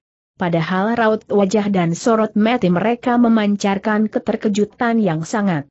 Lagi-lagi dengan gerak isyarat, Ki Ageng Sora memerintahkan salah seorang muridnya untuk memberi penutup tubuh pada Wulan dan Wit kemudian membebaskan totokan yang membelenggu mereka. Tanpa menunggu lebih lama, orang murid ketua perguruan Banteng Putih segera melaksanakan perintah itu. Sementara itu, Ki Ageng Sora mengedarkan pandang ke sekeliling tempat itu. Hanya dengan sekali lihat dia dapat mengetahui tempat itu tidak mempunyai jalan keluar. Berarti Sangkala masih berada di tempat ini. Itu dia seorang pemuda berwajah tampan serta gagah karena bentuk rahangnya yang kokoh menunjuk ke satu arah. Seketika itu juga, semua pasang mata terarah ke sana. Dan mereka melihatnya. Sangkala tengah sibuk memetik jambu. Ternyata bukan hanya rombongan Ki Ageng Sora yang mendengar seruan pemuda berahang kokoh itu, Sangkala pun mendengarnya. Pemuda berwajah bopeng itu segera menoleh ke arah asal suara. Saat itu Sangkala memunggungi tempat Ki Ageng Sora dan rombongannya berada. Dapat dibayangkan betapa kagetnya Sangkala melihat rombongan itu. Disadarinya bahaya besar tengah mengancam. Tanpa menunggu, pemuda itu segera melompat dari pohon. Tak dipedulikannya buah-buah yang telah dipetiknya berhamburan ke tanah. Jelig. Karena tergesa-gesa, Sangkala hampir jatuh tersungkur ketika mendaratkan kedua kakinya di tanah. Tapi itu tidak dipedulikannya. langsung saja dia berlari. Yang ada di benaknya hanya satu, menjauhi rombongan orang-orang itu. Sangkala tidak sempat berpikir kalau jalan untuk lolos sudah tidak ada lagi. Jalan masuk yang sekaligus jalan keluar dari tempat itu telah dihadang rombongan pengejarnya. Melihat Sangkala melarikan diri, rombongan Ki Ageng Sora yang terdiri dari murid-murid perguruan Banteng Putih dan penduduk desa Kawung segera bergerak mengejar. Meskipun mereka tahu jalan untuk lolos sudah tidak ada lagi, tapi kemarahan yang hebat membuat mereka tidak tahan menunggu lebih lama untuk menghukum Sangkala. Kesudahannya sudah dapat diduga. Kejar mengejar antara Sangkala dan rombongan Ki Ageng Suara pun terjadi. Dari sekian banyak anggota rombongan, hanya dua orang yang tidak ikut melakukan pengejaran. Mereka adalah Ki Ageng Sora dan Ki Rawung. Kedua sesepuh desa Kawung itu hanya memperhatikan kejar mengejar yang terjadi di depan mati mereka. Tidak terlihat tanda-tanda mereka akan melakukan tindakan pencegahan. Sementara itu, jarak antara Sangkala dengan pengejarnya semakin dekat. Lari pemuda berwajah bopeng itu agak terpincang-pincang. Rupanya lompatan yang dilakukan terburu-buru dari atas pohon dan tidak mendarat dengan benar membuat kakinya terkilir. Mau lari ke mana? Manusia bejat seru seorang penduduk sambil mengamang-amangkan goloknya. Jangan harap lolos dari tangan kami sambung penduduk lainnya kau akan menerima balasan atas perbuatan kejimu, sangkala teriak seorang murid perguruan Banteng Putih. Kau akan kami bakar hidup-hidup timpa yang lain. Siksa dia dulu sampai setengah mati ganyang cincang tubuhnya sampai hancur riuh rendah teriak para pengejar sangkala. Hingga sangkala semakin ketakutan. Apalagi ketika disadari jaraknya dengan mereka semakin bertambah dekat perasaan takut dan cemas yang melanda pun semakin besar. Hih salah seorang murid perguruan Banteng Putih yang sudah tidak sabar lagi menunggu saat melakukan hukuman melemparkan golok yang sejak tadi digenggamnya. Sing, cap, AKH Sangkala menjerit keras ketika golok yang dilemparkan murid perguruan Banteng Putih yang bertubuh pendek gemuk itu menancap di bagian belakang paha kanannya. Tubuh Sangkala langsung tersungkur. Dan sebelum Sangkala bangkit, para pengejarnya telah menyusul dan mengurungnya. Tapi anehnya mereka tidak segera menyerangnya. Rupanya sengaja memberi kesempatan padanya untuk melakukan perlawanan. Bangun, manusia berhati binatang seru pemuda berahang kokoh sangat geram. Sangkala menggertakkan gigi. Kemudian dengan sekali sentak, dicabutnya golok yang menancap di paha kanannya. Darah membanjir keluar tapi sesaat kemudian terhenti ketika Sangkala menotok jalan darah di sekitar luka. Seusai mengurus lukanya, Sangkala mengalihkan perhatian kepada orang-orang yang mengurungnya. Pemuda itu tahu dirinya tidak mungkin akan mendapat pengampunan. Maka diputuskannya untuk mengadakan perlawanan mati-matian. Setidak-tidaknya sebelum mati dia berhasil membawa beberapa orang di antara mereka untuk menemaninya ke akhirat. Orang pertama yang menerima tatapan Sangkala adalah pemuda berahang kokoh. Dia tahu siapa pemuda itu. Ranjita, putra Kirawung. Setelah itu pandangannya diarahkan kepada murid perguruan Banteng Putih yang bertubuh pendek gemuk. Bongara namanya, tatapan Sangkala penuh dendam. Biar aku yang melenyapkan manusia binatang ini ujar Ranjita gagah. Tidak, Ranjita bantah Bongara biar aku yang membereskannya. Ingat, dia adalah murid perguruan Banteng Putih, jadi merupakan kewajiban bagiku selaku saudara seperguruan untuk memberi hukuman tidak adil selak seorang laki-laki setengah baya bertubuh tinggi kurus. Meskipun dia anggota perguruan Banteng Putih, tapi yang menderita kerugian aku. Widuri adalah putriku. Jadi akulah yang berhak menghukumnya aku juga. Wulan, yang menjadi korban kebiadabannya adalah anakku sambung penduduk desa Kawung lainnya. Kemudian tanpa memberi kesempatan kepada Bongara dan Ranjita untuk menanggapi, orang tua Wulan dan Widuri segera meluruk ke arah Sangkala. Senjata berupa kapak dan golok yang tergenggam di tangan mereka diayunkan ke tubuh pemuda itu. Wut! Melihat ancaman bahaya maut meluruk ke arahnya, Sangkala tidak tinggal diam. Meskipun sebelah kakinya terluka, yang sedikit banyak mengurangi kelincahannya, tetapi pemuda itu tidak mengalami kesulitan mengelakkan serangan mereka. Kedua orang itu adalah penduduk desa yang hampir tidak menguasai ilmu bela diri. Andai kata memiliki pun hanya sekadarnya. Tak aneh bila hanya dengan sebuah pelakan sederhana, Sangkala berhasil mengelakkan serangan-serangan itu. Tidak hanya itu saja.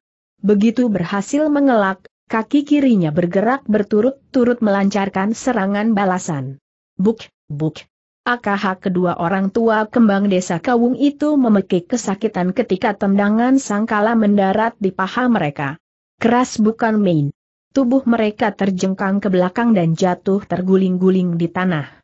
Karuan saja amarah penduduk semakin berkobar. Bagai diberi perintah, mereka menyerbu sangkala dengan senjata di tangan tak pelak lagi, belasan senjata yang terdiri dari beraneka ragam bentuk itu meluruk ke segala bagian tubuh sangkala.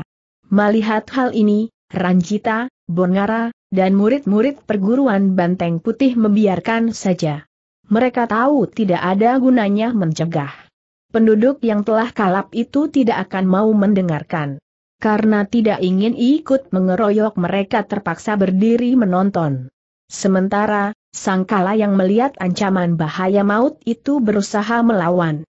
Dengan golok di tangan, pemuda itu bertarung mati-matian. Hebat bukan main tindakan Sangkala. Amukannya bagai macan luka. Meskipun dia telah terluka, tapi tetap mampu melakukan perlawanan sengit. Padahal jumlah lawan tak kurang dari 13 orang pemuda itu dapat mengimbangi. Sangkala mampu mengelakkan setiap serangan lawan. Bahkan melancarkan serangan yang jauh lebih dahsyat. Tidak sampai lima jurus dua lawannya terkapar dan terlempar dari kancah pertarungan terkena babatan goloknya. Kenyataan itu membuat teman-teman mereka menjadi geram bukan main. Orang-orang yang menonton pun dilanda perasaan sama. Keparat geram Ranjita penuh kemarahan. Kalau dibiarkan terus, manusia biadab itu bisa membunuh mereka semua lalu, apa yang akan kau lakukan ikut terjun dalam kancah pertarungan mengeroyok lawan yang terluka tanya Bongara mengejek. Wajah Ranjita langsung merah padam. Aku bukan orang seperti itu, Bongara. Kalau orang-orang dungu itu tidak mendahuluiku, tubuh manusia berhati binatang itu telah kujadikan daging cincang ingin kulihat bukti ucapanmu, Ranjita, sambut Bongara meremehkan. Bongara sedikit pun tidak bermaksud membela Sangkala. Ucapannya itu dikeluarkan karena tidak senangnya akan kesombongan Ranjita. Ucapan Ranjita yang mengatakan mampu mengalahkan Sangkala membuat Bongara tidak senang. Sebab kepandaian Bongara boleh dibilang setingkat dengan Sangkala.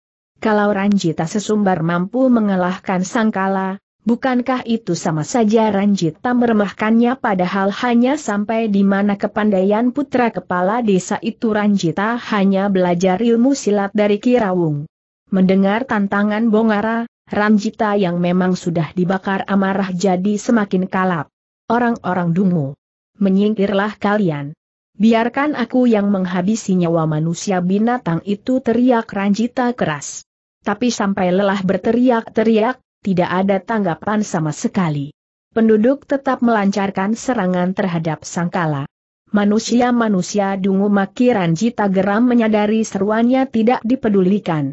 Biar kalian semua tewas di tangannya harapan Ranjita langsung terkabul. Belum juga gemak ucapannya lenyap, terdengar jeritan menyayat hati. Disusul robohnya dua orang lawan Sangkala. Kepala mereka terpisah dari tubuh ketika golok sangkala menabas batang leher mereka. Keparat geram Ki Ageng Sora dan Ki Rawung Hamir bersamaan. Mereka saling bertukar pandang. Tidak akan kubiarkan murid murtad itu semakin mencoreng nama perguruan Banteng Putih dengan darah penduduk desa Kawung desis Ki Ageng Sora geram. Usai berkata lelaki tinggi kurus itu memasukkan tangannya ke balik baju. Ketika dikeluarkan kembali tampak empat batang pisau di tangannya. Tentu saja kelakuan ketua perguruan Banteng Putih tidak luput dari perhatian Kirawung. Namun kepala desa Kawung itu tidak mengatakan apa-apa. Dia yakin Ki Ageng Sora telah memikirkan masak-masak tindakannya. Maka lelaki kecil kurus itu diam saja. Sementara itu, setelah memperhatikan kancah pertarungan sesaat, Ki Ageng Sora mengibaskan tangannya. Seketika itu pula, sing, sing, sing. Bunyi desing nyaring yang menyakitkan telinga terdengar ketika pisau-pisau itu meluncur ke arah Sangkala. Bukan hanya Sangkala yang terkejut Bongara dan semua murid perguruan Banteng Putih pun demikian. Mereka tidak menyangka gurunya akan turun tangan. Tapi keterkejutan yang melanda Bongara dan rekan-rekannya tidak sebesar sangkala. Saat itu dia baru saja mengelakkan serangan lawan-lawannya. Keduduannya sangat tidak menguntungkan. Baik untuk menangkis maupun mengelak. Tapi meskipun demikian, Sangkala tidak mau menyerah begitu saja. Sedapat mungkin diusahakannya mengelak. Tapi, cap, cap, cap. AKH Sangkala memekik kesakitan. Pisau-pisau itu mendarat di sasaran yang dituju Ki Ageng Sora. Dua menancap di punggung atas, kanan dan kiri. Sedangkan sisanya menancap di paha atas bagian belakang. Juga di kanan dan kiri. Tubuh Sangkala langsung ambruk di tanah. Tidak seperti sebelumnya. Kali ini pemuda berwajah bopeng itu tidak bisa bangkit lagi. Kesempatan itu tidak disia-siakan para pengeroyoknya. Dengan sorot mata menyiratkan dendam, mereka mengayunkan senjata masing-masing. Nyawa Sangkala sudah dapat dipastikan akan melayang saat itu juga. Tapi sebelum hal itu terjadi, tahan suara bentakan keras yang mengandung pengaruh kuat membuat penduduk desa Kawung menghentikan gerakan mereka. Senjata-senjata yang beraneka ragam jenis itu tertahan di udara. Dengan penuh tanda tanya mereka mengalihkan pandangan ke arah Ki Ageng Sora. Lelaki tinggi kurus itulah yang mengeluarkan cegahan tadi. Ternyata bukan hanya penduduk desa Kawung itu yang tercekam rasa heran. Ranjita dan seluruh murid perguruan Banteng Putih pun menatap wajah Ki Ageng Sora penuh rasa heran. Kalian jangan salah paham, ujar Ki Ageng Sora tenang. Kalian tidak perlu khawatir. Aku tidak akan membela Sangkala. Dia tidak kuanggap sebagai murid lagi. Aku mencegah semata-mata untuk kepentingan kalian juga Ki Ageng Sora menghentikan ucapannya sejenak untuk mengambil napas. Sementara penduduk desa Kawung, Ranjita, dan semua murid perguruan Banteng Putih menunggu kelanjutan ucapan itu dengan tidak sabar. Perlu kalian ketahui, orang yang mempunyai kesalahan seperti Sangkala terlalu enak untuk mati dengan demikian mudah dia telah merusak masa depan dua orang gadis, membuat kotor desa Kawung, dan mencemarkan nama perguruan Banteng Putih. Hukuman langsung mati terlalu enak baginya urai Ki Ageng Sora. Lalu, apa yang harus kita lakukan? Ki tanya Ranjita ingin tahu. Putra kepala desa Kawung itu sangat dendam kepada Sangkala. Ini tentu saja ada alasannya. Ranjita iri karena Sangkala yang berwajah buruk berhasil menikmati kegadisan Wulan dan Widuri. Padahal dia sudah lama menginginkan mereka. Dia harus disiksa sebelum dibakar hidup-hidup tegas Ki Ageng Sora. Akur serentak semua orang yang ada di situ menganggukkan tanda setuju. Ki Ageng Sora tersenyum pahit melihat sambutan yang demikian penuh semangat. Di hati kecilnya sebenarnya dia tidak setuju tapi kejahatan yang dilakukan Sangkala sangat dibencinya. Maka hatinya dikuatkan untuk memutuskan hal itu. Kalau begitu, tunggu apa lagi tanya Ki Ageng Sora setengah memerintah. Siksa dia. Lalu kita seret ke desa, dan bakar di hadapan seluruh penduduk. Hukuman ini akan membuat orang lain yang melakukan tindakan seperti ini berpikir seribu kali saat itu juga para penduduk menghampiri sangkala yang tergolek di tanah. Mereka saling mendahului untuk melihat pemuda berwajah bopeng itu. Sesaat kemudian penyiksaan terhadap Sangkala pun dilaksanakan. Dalam gelora amarah dan kebencian yang meluap-luap, para penduduk desa Kawung jadi manusia-manusia yang tidak punya rasa belas kasihan. Mereka menghajar sekujur tubuh Sangkala. Tidak hanya dengan tendangan atau pukulan tangan kosong. Tapi juga dengan senjata tumpul. Sedikit pun tidak mereka pedulikan rintih kesakitan yang keluar dari mulut Sangkala. Buk, buk, des. AKH jeritan kesakitan tak henti-hentinya keluar dari mulut Sangkala, Seiring dengan mendaratnya siksaan-siksaan penduduk desa Kawung. Hanya dalam sekejap sekujur tubuhnya telah penuh luka. Darah mengalir di sana-sini. Pakaiannya compang-camping tak karuhan. Wajahnya pun hampir tidak bisa dikenali lagi. Karena telah bengkak-bengkak. Tapi penduduk desa Kawung tetap meneruskan siksaannya. Buk, buk, buk enam cukup untuk kedua kali Ki Ageng Sora mengeluarkan cegahan. Seperti juga sebelumnya, penduduk desa Kawung menuruti perintahnya. Tapi bukan karena patuh. Ada pengaruh aneh yang membuat mereka terpaksa menghentikan gerakannya. Sebenarnya Ki Ageng Suara tidak menggunakan ilmu gaib atau sihir. Lelaki tinggi kurus itu mengerahkan tenaga dalamnya. Getaran tenaga dalam itu menyebabkan orang yang kurang kuat tenaga dalamnya langsung terpengaruh. Mereka terkesima. Hingga tindakan mereka terhenti. Dia sudah tidak berdaya. Bila kalian teruskan, mungkin dia akan mati. Dan jika hal itu terjadi, rencana yang telah kita susun akan berantakan. Kalian paham lanjut Ki Ageng Sora menjelaskan. Bagai diberi perintah, serempak penduduk desa Kawung mengalihkan perhatian ke arah Sangkala. Mereka membenarkan pendapat Ki Ageng Sora. Sangkala memang sudah tidak berdaya. Keadaannya sangat mengenaskan. Bahkan beberapa saat sebelum Ki Ageng Sora mengeluarkan cegahan, dia sudah tidak mampu menjerit lagi. Tubuhnya telah demikian lemah.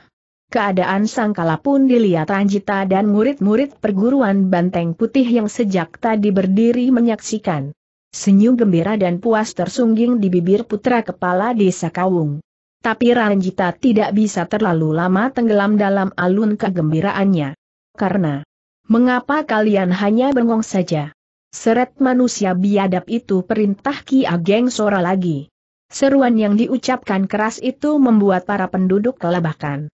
Mereka bingung memikirkan alat yang dapat digunakan untuk menarik sangkala. Namun Ranjita yang cerdik menemukan pemecahannya.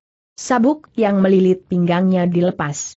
Lalu, cetar, setelah lebih dulu melecutkan sabuknya hingga mengeluarkan bunyi keras, Ramjita meluncurkan ujung sabuknya pada tangan Sangkala. RRRTTT. Dengan gerakan yang indah dipandang, sabuk itu membelit tangan Sangkala. Sungguh sebuah pertunjukan yang cukup hebat. Dari sini bisa diketahui Ranjita memiliki tenaga dalam cukup kuat. Karena hanya orang-orang yang mempunyai tenaga dalam cukup kuatlah yang mampu memainkan sabuk. Apalagi memainkannya sebagus Ranjita. Seperti yang sudah diduga Ranjita, penduduk desa Kawung terpaku melihat pertunjukannya. Tatapan mati mereka menyiratkan kekaguman. Bahkan sorot seperti itu terlihat pula pada sepasang metuki ageng sora. Walaupun sebenarnya lelaki tinggi kurus itu mampu memainkan berlipat kali lebih baik dari Ranjita. Tapi tetap saja dia merasa kagum. Sebab tidak semua murid perguruan Banteng Putih mampu melakukan. Kalau mau jujur dan tidak menuruti hati yang panas, Bongara harus mengakui Ranjita memang lawan yang tangguh. Tapi karena sejak pertama sudah muncul rasa tidak suka pada sikap Ranjita yang terlalu memandang remeh orang, yang ditunjukkan Bongara hanya senyum sinis. Sikapnya menunjukkan tindakan Ranjita tidak berarti apa-apa baginya. Ranjita tentu saja diam-diam tahu, pemuda itu jengkel bukan main. Tapi Ranjita pura-pura tidak tahu. Diberikannya ujung sabuk yang dipegangnya pada salah seorang penduduk desa Kawung nih, seret hanya itu yang diucapkan Ranjita pada penduduk desa Kawung yang menerimanya dengan wajah berseri-seri. Ki Ageng Sora dan Ki Rawung membalikan tubuh dan berjalan meninggalkan tempat itu. Tujuan mereka jelas. Mulut goa yang menembus hutan randu. Di belakang kedua orang itu berjalan Ranjita dan murid-murid perguruan Banteng Putih. Sedangkan rombongan penduduk desa Kawung berada paling belakang, dengan salah seorang di antara mereka menyeret tubuh Sangkala. Dapat dibayangkan penderitaan yang dialami Sangkala. Dalam keadaan lebih mendekati mati, mana sekujur tubuhnya tidak ada yang luput dari luka, pemuda itu diseret-seret. Padahal tanah di sini tidak rata banyak bagian-bagian yang menonjol dan runcing. Dengan sendirinya luka yang diderita Sangkala semakin parah. Memang pantas dipuji kekuatan Sangkala. Dalam keadaan seperti itu dia masih sanggup memutar otaknya. Disadarinya perjalanan menuju desa Kawung masih jauh. Bahkan melalui medan yang tidak rata. Dengan demikian dia akan tersiksa lama sebelum akhirnya dibakar hidup-hidup dengan disaksikan orang sedesa. Sangkala tidak menginginkan hal itu terjadi. Dia tidak ingin mati seperti binatang. Kalau memang harus mati, dia ingin secara terhormat. Lebih baik mati di sini daripada di desa Kawung luar biasa. Keinginan yang demikian kuat itu membuat keadaan Sangkala membaik. Bahkan seperti tidak terluka sama sekali. Ini sebenarnya tidak aneh. Ada saat-saat tertentu di mana tenaga tersembunyi dapat keluar dengan kemampuan lebih hebat dari biasanya. Tapi tentu saja ada hal-hal yang menyebabkan tenaga tersembunyi itu keluar. Demikian pula dengan Sangkala keinginan yang amat kuat untuk tidak tewas secara mengenaskan di desa Kawung menyebabkan kemampuan tersembunyinya keluar. Kesempatan itu segera dipergunakan Sangkala sebaik-baiknya.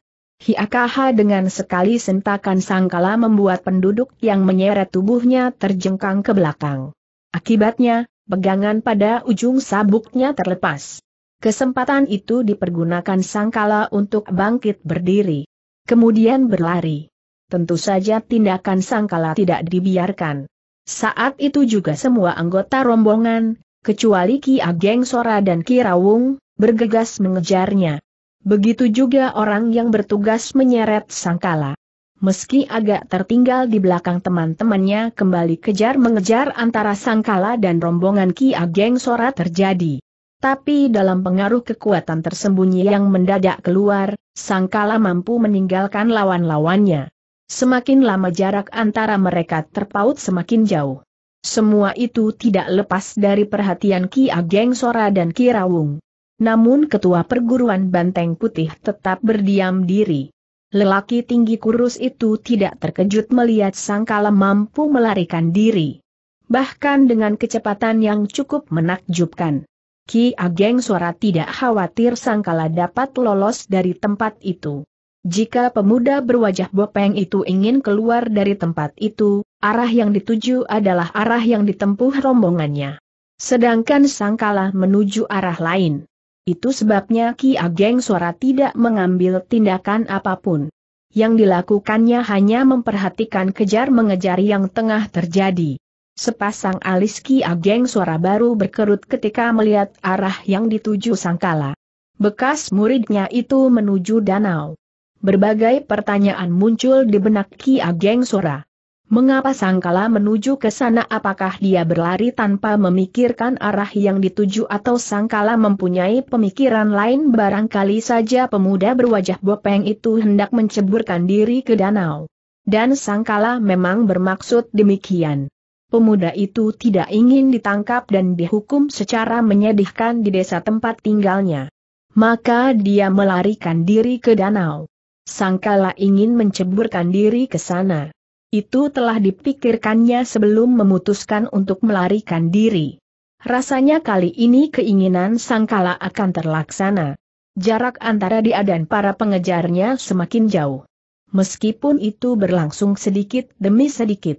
Perlahan tapi pasti Sangkala mendekati danau. Rasanya bekas murid perguruan Banteng Putih itu tidak bisa terjangkau lagi oleh lawan. Kenyataan itu segera terbukti. Hiaa diawali dengan teriakan melengking nyaring yang membuat gema ke seluruh penjuru tempat itu, sangkala melompat ke danau. Sesaat tubuhnya melayang di udara sebelum akhirnya. Biur. Air munkrat tinggi ke udara ketika tubuh sangkala membentur permukaan danau. Tubuh sangkala langsung tenggelam. Kejadian itu disaksikan Ranjita, Bongara, dan yang lainnya. Tapi apa yang dapat mereka lakukan saat tubuh Sangkala menimpa permukaan danau, jarak antara mereka masih terpaut beberapa tombak. Baru setelah beberapa saat tubuh Sangkala tenggelam, rombongan pengejar itu tiba di pinggir danau.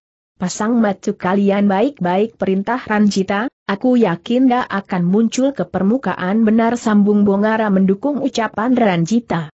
Apa yang dikatakan Ranjita benar. Lebih baik kita berpencar. dia pasti akan muncul ke permukaan tanpa menunggu lagi, rombongan itu menyebar ke sekitar danau.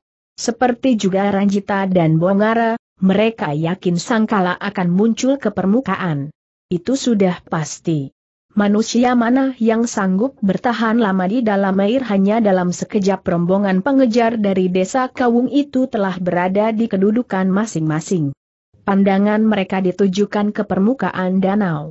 Hampir tidak pernah mereka mengedipkan mata, khawatir di saat sepasang mata mereka berkedip sangkala muncul ke permukaan. Dengan tidak sabar Ranjita dan yang lain menunggu kemunculan sangkala. Tapi sampai cukup lama menunggu, sangkala tidak memunculkan diri.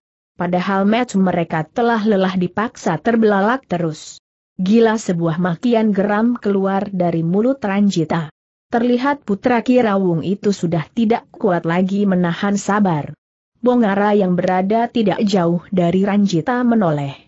Kesempatan itu dipergunakan sebaik-baiknya oleh Ranjita. Rasanya tidak mungkin kita terus-menerus menunggu seperti ini, Bongara, ujar Ranjita pelan. Aku pun berpendapat demikian, Ranjita, sahut Bongara dengan nada sama. Telah lenyap perselisihan antara mereka melihat buruan yang sama-sama dikejar berhasil lolos. Tapi, apa yang dapat kita lakukan bagaimana kalau kita terjun juga, Bongara usul Ranjita, siapa tahu manusia keji itu telah menjadi setan air dugaanmu tidak berbeda denganku, timpal Bongara. Aku pun tidak percaya Sangkala mampu bertahan begitu lama di dalam air barangkali dia berada di permukaan air dan menggunakan batang alang-alang untuk bernapas duga Ranjita tiba-tiba. Kurasa dugaanmu keliru, Ranjita, bantah Bongara. Aku tidak melihat benda yang kau maksudkan di permukaan air. Aku tahu, semula aku pun berpendapat demikian. Tapi setelah kuadarkan pandangan, dan tidak kutemukan benda itu, aku yakin Sangkala tidak menggunakan care itu, jadi, Ramjita menggantung ucapannya. Aku lebih condong dia telah menjadi setan air sekarang tegas Bongara. Kurasa dugaan ini tidak berlebihan. Kau tahu sendiri kan keadaannya Ranjita tampak ragu. Dia tidak memberikan tanggapan yang bersifat menyetujui pendapat Bongara. Memang kuakui Sangkala terluka parah. Tapi, apakah kau tidak melihat kejadian aneh tadi dia mampu berlari dengan kecepatan lebih dari sewaktu sehatnya itu terjadi karena keinginannya yang besar untuk meloloskan diri, Ranjita. Aku tahu pasti kemampuan seperti itu tidak akan bertahan lama. Lagi pula kemampuan demikian tidak berlaku di dalam air bantah Bongara menguatkan alasannya. Kalau menambah kemampuan mungkin benar. Tapi jika kemampuan tak wajar itu menyebabkannya mampu menahan napas demikian lama di dalam air, kurasa tidak mungkin. Dan lagi seperti yang tadi kukatakan, kemampuan seperti itu tidak akan bertahan lama, Ramjita langsung terdiam. Disadari ada kebenaran yang tidak bisa dibantah dalam ucapan Bongara. Jadi, kesimpulan yang paling mungkin Sangkala telah menjadi setan air tanda Ranjita. Itulah yang harus kita buktikan sambut Bongara, karena itu aku menyetujui usulmu, Ranjita. Aku khawatir ada hal-hal tidak terduga yang akan merugikan kita, maksudmu, Sangkala berhasil meloloskan diri.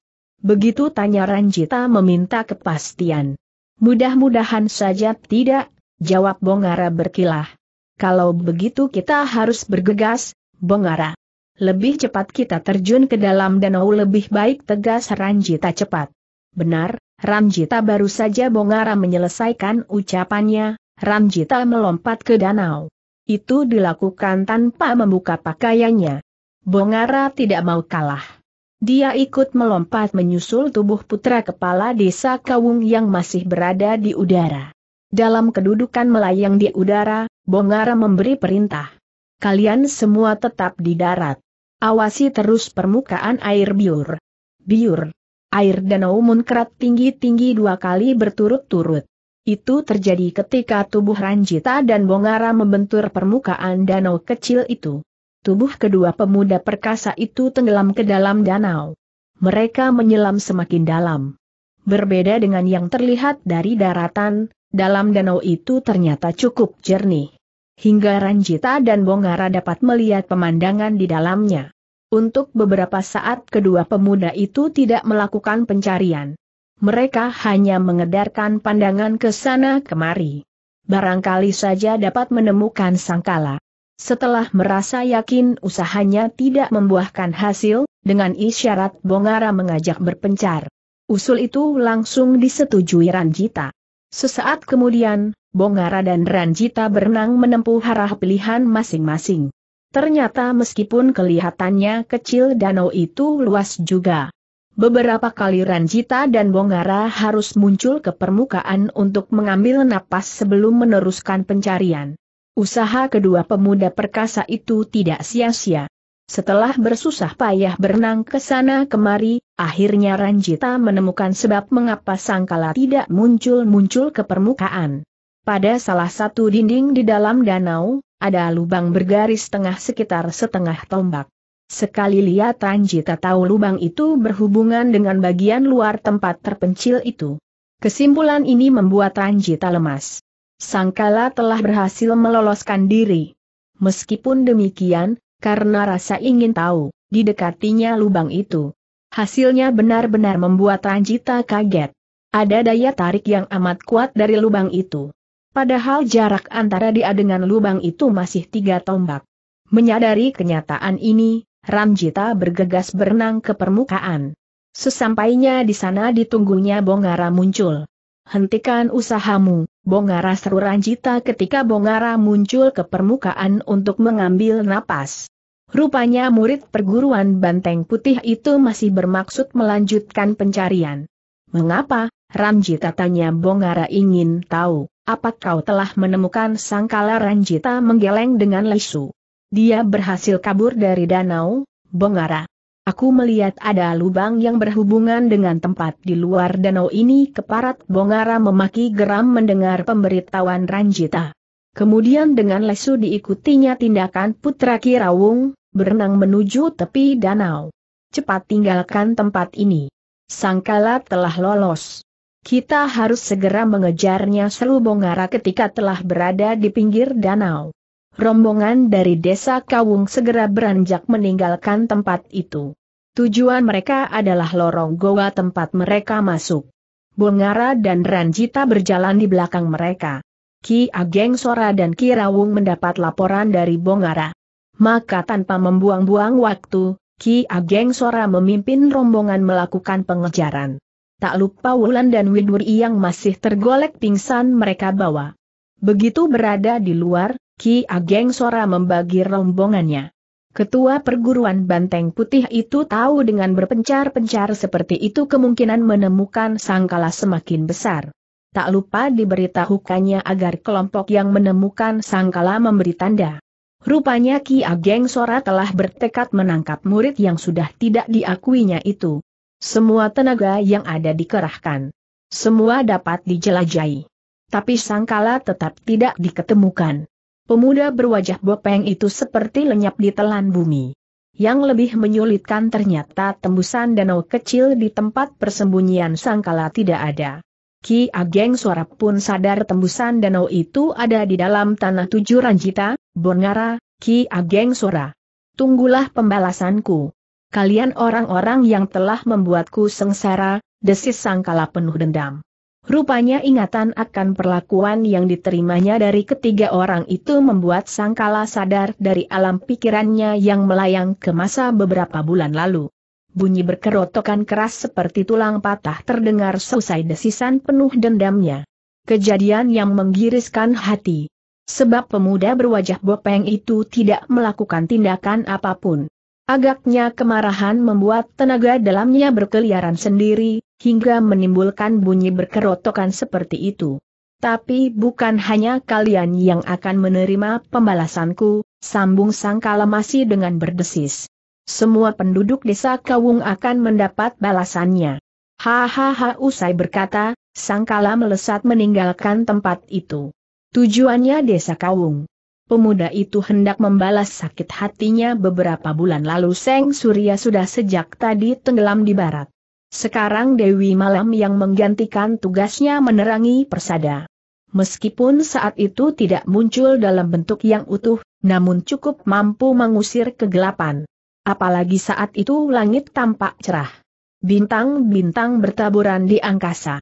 Berkelap-kelip ceria karena tidak ada segumpal awan pun menggantung di sana. Hingga suasana persada semakin cerah. Ternyata tidak hanya suasana di langit saja yang cerah ceria. Hal yang sama pun terjadi di desa Kawung. Obor terpancang di setiap rumah penduduk dalam jumlah yang lebih banyak dari biasa, sehingga keadaan desa terang benderang. Jelas ada sesuatu yang lain di desa Kawung. Dan memang dugaan itu tidak salah.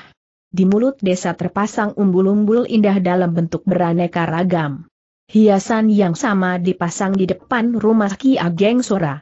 Di tempat tinggal Ki Ageng Sora, di perguruan Banteng Putih, rampak meriah. Umbul-umbul terpajang berderet rapi dan teratur mulai dari pintu gerbang sampai ke bagian dalam. Obor-obor pun terpancang di sana sani, membuat tempat itu terang benderang seperti siang hari. Rupanya di sana tengah dilangsungkan pesta pernikahan. Seng mempelai adalah Trijati, putri Ki Ageng Sora, dengan Ranjita, putra kepala desa Kawung. Kesibukan pun melanda perguruan Banteng Putih. Murid-murid perguruan itu, yang tidak berapa banyak, tampak kerepotan melayani tamu yang datang untuk mengucapkan selamat. Tamu-tamu yang hadir memang tidak sedikit. Karena kedua mempelai sama-sama berasal dari keluarga terpandang. Para tamu tidak hanya dari desa Kawung, tapi juga dari desa-desa sekitar. Sementara itu di pelaminan Trijati dan Ranjita tak henti-hentinya mengembangkan senyum pada tamu-tamu yang datang. Keduanya tampak sangat gembira. Tak aneh, pernikahan itu berlangsung atas dasar cinta kasih mereka berdua. Tidak jauh dari sepasang mempelai, di tempat duduk kehormatan, duduk keluarga Ki Ageng Sora, keluarga kepala desa Kawung, dan tamu-tamu kehormatan, yang terdiri dari kepala-kepala desa dan ketua-ketua perguruan silat di sekitar desa Kawung. Mereka terlihat tidak kalah gembiranya dengan kedua mempelai. Sesekali terdengar gelak tawa di antara pembicaraan mereka. Pernikahan putrimu membuatku merasa tua sekali, Sora, ucapan itu keluar dari mulut seorang lelaki berpakaian coklat. Raut wajahnya gagah dengan kumis tebal melintang menghias bawah hidungnya. Mengapa kau berkata demikian? Lo katanya kakek berpakaian kuning tersenyum geli. Meskipun senyum menghias bibirnya, tapi tetap saja tidak mampu mengusir keangkeran kakek itu. Bentuk wajahnya yang persegi mirip harimau penuh ditumbuhi bulu. Tidak hanya kumis dan jenggot, tapi juga cambang. Sepasang alisnya tebal dan hitam. Tubuhnya tinggi besar. Pada bagian dada kiri pakaiannya tersulam gambar kepala seekor harimau. Lengkaplah sudah semua yang membuat kakek itu terlihat angker. Betapa tidak, Jayeng sahut lelaki berkumis melintang yang dipanggil Loka meminta dukungan. Kau kan tahu usiaku hanya selisih satu tahun dengan Ki Ageng Sora. Kalau anaknya sudah berkeluarga, bukankah sebentar lagi dia akan menjadi kakek? Ku berarti aku tidak muda lagi hahaha serempak Ki Ageng Sora dan kakek berpakaian kuning yang dipanggil Jayeng, sebenarnya mempunyai nama lengkap Jayeng Praja, tertawa bergerak. Geli mendengar pertanyaan Loka yang bernama lengkap Loka Arya. Mengapa kalian tertawa tanya Loka Arya setengah memprotes? Kami merasa geli, Loka, Ki Ageng Sora menjawab setengah tertawa. Rupanya perasaan geli masih melanda hatinya. Benar, Loka, sambut Jayeng Praja, sepertinya kau khawatir menjadi tua. Percayalah, sekalipun tua kau masih disegani kawan dan ditakuti lawan. Meskipun bertambah tua kau tetap berjuluk pendekar tinju maut tepat timpal Ki Ageng Sora cepat, bahkan aku berani bertaruh keampuhan tinjumu semakin meningkat dengan semakin bertambahnya usiamu hahaha sekarang ganti loka Arya berjuluk pendekar tinju maut tertawa terkekeh. Luar bisa. Ternyata waktu yang sekian lama tidak mengubah sikap kalian. Kurasa sudah saatnya kalian berdua membuang semua pujian kosong itu. Apa hebatnya ilmu tinju mautku dibanding jurus harimau terbang milikmu, Jayeng? Atau permainan kepalamu yang mampu menghancurkan apa saja yang terbentur, Sora ujar Loka Arya merendah. Hahaha Ki Ageng Sora dan Jayeng Praja tertawa bergelak. Aku telah mendengar kabar perguruanmu menyediakan jasa pengawalan. Untuk orang-orang yang hendak bepergian jauh maupun pengiriman barang berharga. Bukankah demikian, Jayeng sambung Loka Arya?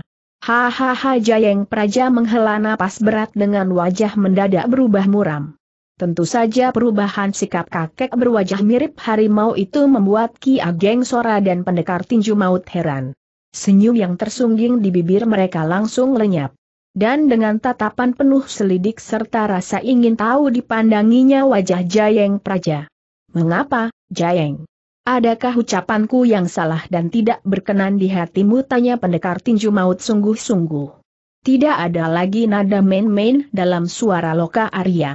Seperti juga Ki Ageng Sora, dia tahu Jayeng Praja tidak akan bersikap seperti itu bila tidak ada masalah. Tidak, Loka. Tidak ada yang salah dengan ucapanmu, Jayeng Praja menggelengkan kepala sambil tersenyum. Tapi, Ki Ageng Sora dan pendekar tinju maut bukan orang bodoh. Mereka tahu senyum Jayeng Praja hanya pulasan dan tidak keluar dari lubuk hatinya.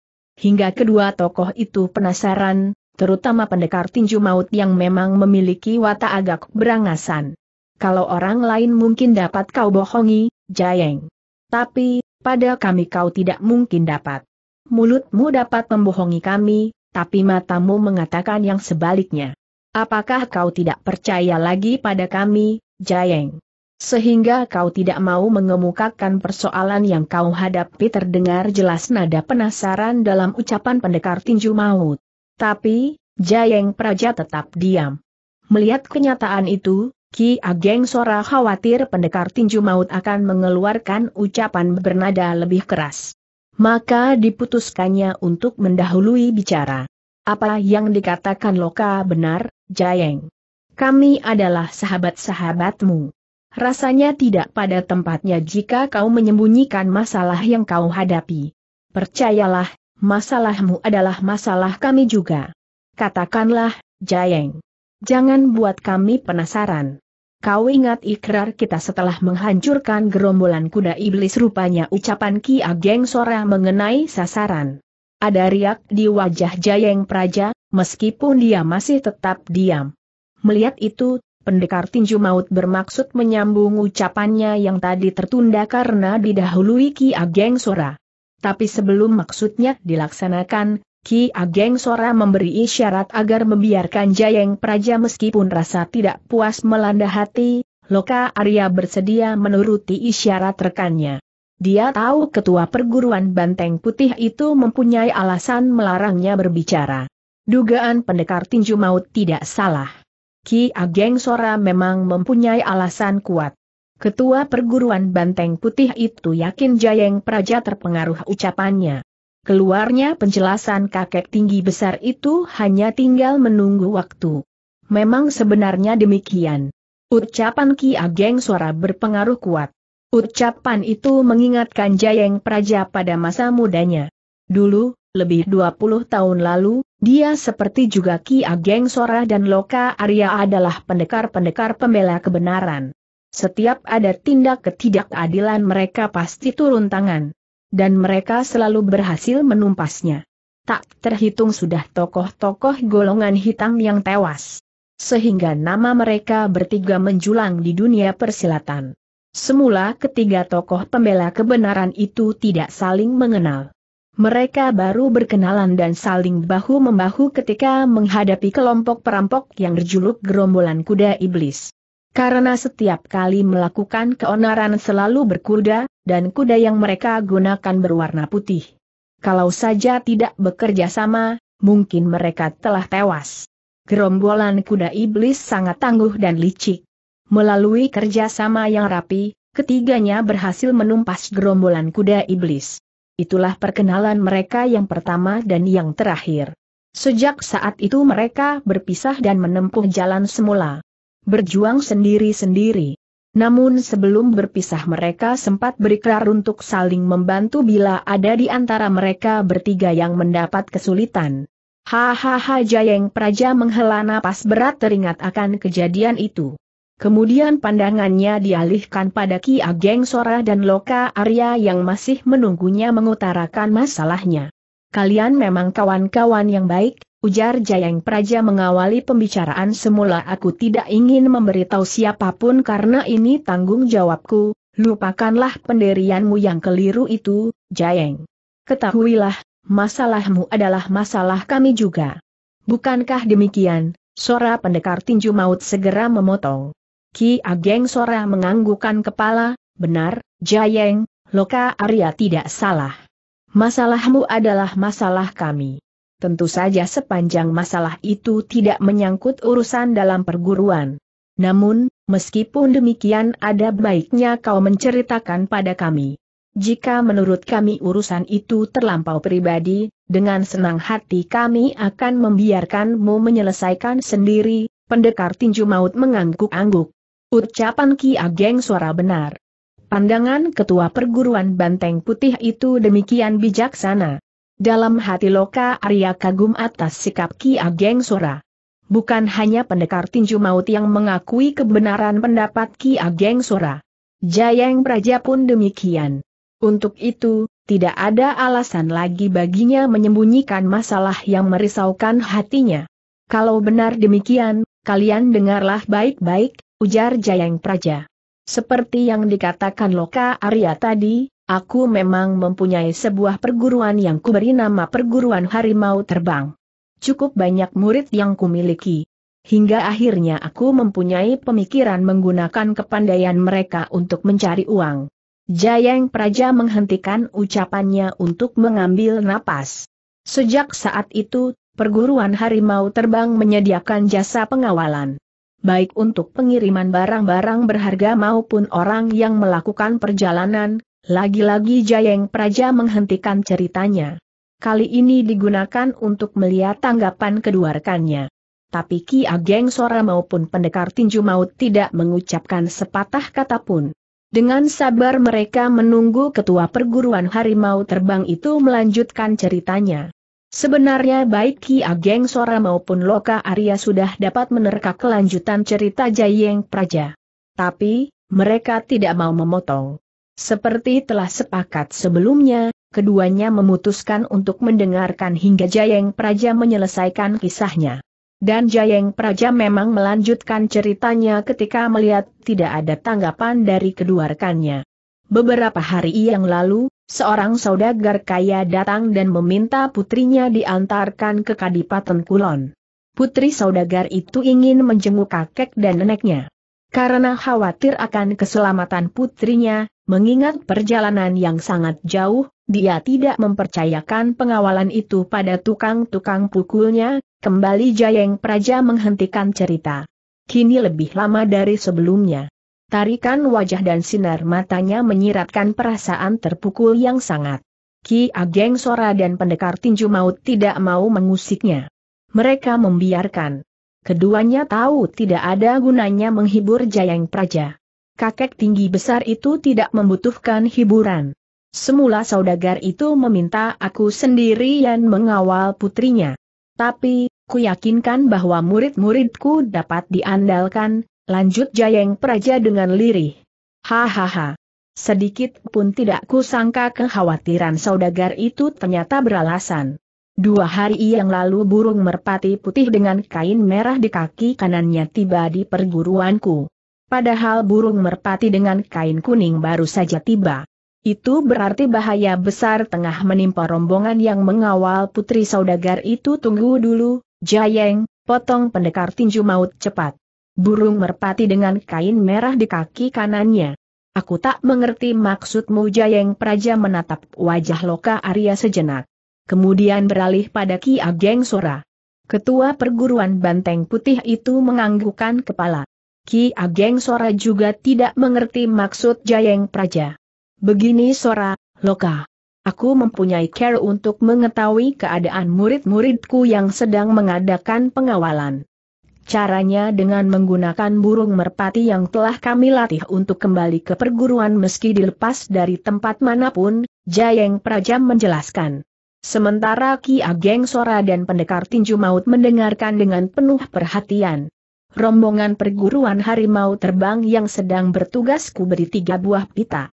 Masing-masing berwarna hijau, kuning, dan merah. Pita itu untuk diikatkan pada kaki burung merpati.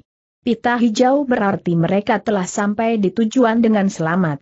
Pita kuning berarti rombongan tengah dihadang bahaya.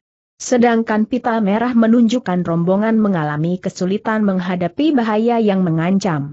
Dengan kata lain, lawan yang dihadapi jauh lebih kuat.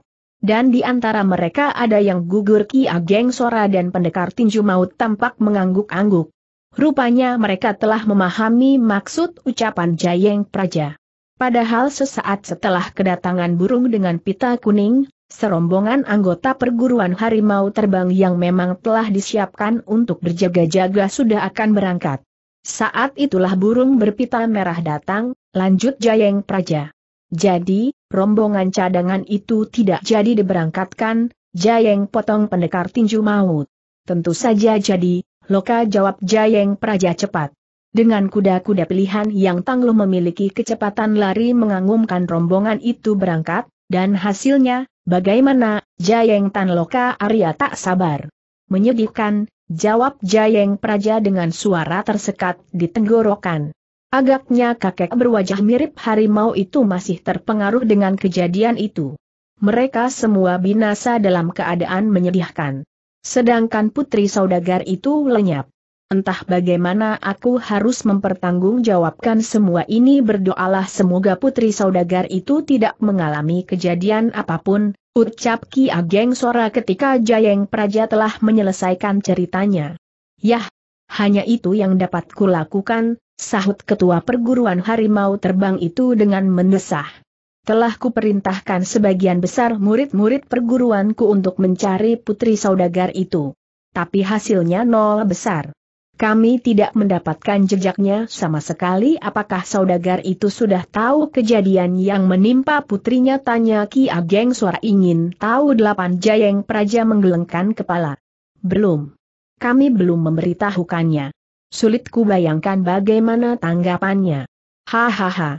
Entah apa yang harus kulakukan. Kalau harta, mungkin dapat kami usahakan penggantiannya. Tapi ini nyawa manusia. Bagaimana pertanggungjawabannya terdengar jelas kegetiran dalam suara ketua perguruan harimau terbang itu. Tarikan wajah dan sorot matanya memancarkan keputusasaan yang dalam. Sementara Ki Ageng Sora dan pendekar tinju maut saling berpandangan. Mereka sadar tidak ada yang dapat dilakukan untuk menolong Jayeng Praja. Apa kau tahu pelakunya? Jayeng tanya pendekar tinju maut tidak berusaha menyembunyikan perasaan geramnya. Jayeng Praja menggeleng. Atau, barangkali kau punya dugaan siapa pelakunya kejar pendekar tinju maut. Lagi-lagi Jayeng Praja menggeleng tidak tahu, siapa adanya pelaku pembunuhan itu masih gelap bagiku, Loka, jelas Jayeng Praja. Orang itu tidak meninggalkan jejak sama sekali, hektometer pendekar tinju maut menggumam. Tangan kanannya mengelus-elus dagu. Sepasang alisnya berkerut. Tampaknya dia sedang berpikir keras. Mungkinkah itu perbuatan orang-orang yang sakit hati dengan tindakan kita dulu duga Ki Ageng suara tiba-tiba. Ingat, Jayeng. Kita telah banyak menanam permusuhan di waktu lalu itu bisa saja terjadi, Sambut pendekar tinju maut mendukung. Hahaha Jayeng Praja menghela napas berat. Mungkin saja dugaan rekan-rekannya itu benar. Tapi, dia tidak memberikan tanggapan. Sedangkan Ki Ageng Sora dan pendekar tinju maut tidak berbicara lagi. Suasana hening pun melingkupi mereka. Lain halnya yang terjadi pada kelompok Kirawung dengan kepala-kepala desa lain yang menjadi rekannya. Antara Ki Ageng Sora dan Ki Rawung memang telah sepakat untuk duduk di tempat yang agak terpisah. Masing-masing ingin berkumpul dengan kawan lama. Di kelompok Ki Rawung sesekali terdengar tawa yang cukup memekakkan telinga. Rupanya mereka terlibat percakapan yang menggembirakan. Demikian pula di tempat para tamu lainnya. Suara tawa sesekali meningkai percakapan mereka. Mendadak. Hahaha terdengar rawa keras menggelegar mengalahkan semua tawa yang ada. Suara tawa itu mampu membuat isi dada orang yang mendengarnya tergetar hebat. Seketika itu pula, semua pasang mata tertuju ke arah asal tawa. Tidak terkecuali Ki Ageng Sora, pendekar tinju maut, dan Jayeng Praja. Sorot mata ketiga tokoh tua itu memancarkan rasa terkejut. Tentu saja semua itu ada alasannya. Mereka merasakan dadanya agak terguncang oleh tawa itu. Ketiga lelaki itu pun sadar pemilik tawa itu memiliki tenaga dalam sangat kuat. Itu berarti seorang yang berkepandaian tinggi. Kalau tidak bermaksud baik tentu merupakan lawan yang sangat tangguh. Pemilik tawa itu ternyata berada di depan perguruan. Entah bagaimana caranya dia masuk. Tahu-tahu sudah berada di dalam tanpa sepengetahuan murid-murid Ki Ageng Sora yang bertugas menjaga pintu gerbang. Padahal, saat itu suasana sudah sepi. Tidak ada tamu yang datang lagi. Tapi mengapa pemilik tawa itu bisa berada di dalam kenyataan itu mengejutkan penjaga-penjaga pintu gerbang. Dengan agak tergesa dua di antara mereka bergerak menghampiri pemilik tawa. Hei! Berhenti. Mengapa menimbulkan keributan di sini? cepat keluar sebelum kupatahkan kakimu ancam seorang murid perguruan banteng putih yang bermulut lebar. Pemilik tawa itu, yang mengenakan pakaian putih, menghentikan tawanya. Wajahnya tetap ditundukkan seperti tadi. Dengan wajah menunduk dia berbalik menghadapi dua orang murid perguruan banteng putih yang menghampirinya. Benarkah kalian mampu melakukannya kalau begitu, lakukanlah, Sahut sosok berpakaian putih tenang sementara itu Ki Ageng Sora mengernyitkan dai. Lelaki tinggi kurus itu sedang berpikir. Sepasang matanya menatap penuh selidik ke arah sosok berpakaian putih. Kelakuan ketua perguruan banteng putih rupanya diperhatikan rekan-rekannya Jayeng Praja dan pendekar tinju maut menjadi haran. Mengapa, Sora? Apa kau mengenalnya? Tanya Jayeng Praja ingin tahu. Entahlah, Jayeng, jawab Ki Ageng suara tidak yakin. Rasanya aku pernah mendengar suaranya. Bukan hanya mendengar, tapi kenal betul. Tapi aku lupa, kapan dan di mana Jayeng Praja dan pendekar tinju maut bertukar pandang mendengar jawaban lelaki tinggi kurus itu. Ingat-ingatlah, Sora. Coba perhatikan baik-baik, beritahu pendekar tinju maut, aku yakin kau benar. Kau dan dia saling mengenal. Kau lihat sendiri kan. Orang itu seperti menyembunyikan wajahnya agar tidak terlihat, yang dikatakan Loka Arya memang tidak salah, Sora, dukung Jayeng Praja, aku juga yakin kau dan dia saling kenal ucapan rekan-rekannya memaksa Ki Ageng Sora untuk terus memperhatikan sosok berpakaian putih. Ingin diketahuinya bagaimana tindakan sosok itu dengan ancaman dua orang muridnya. Syukur jika di antara mereka terjadi pertarungan. Barangkali dari gerakannya bisa diketahui siapa sebenarnya sosok berpakaian putih itu.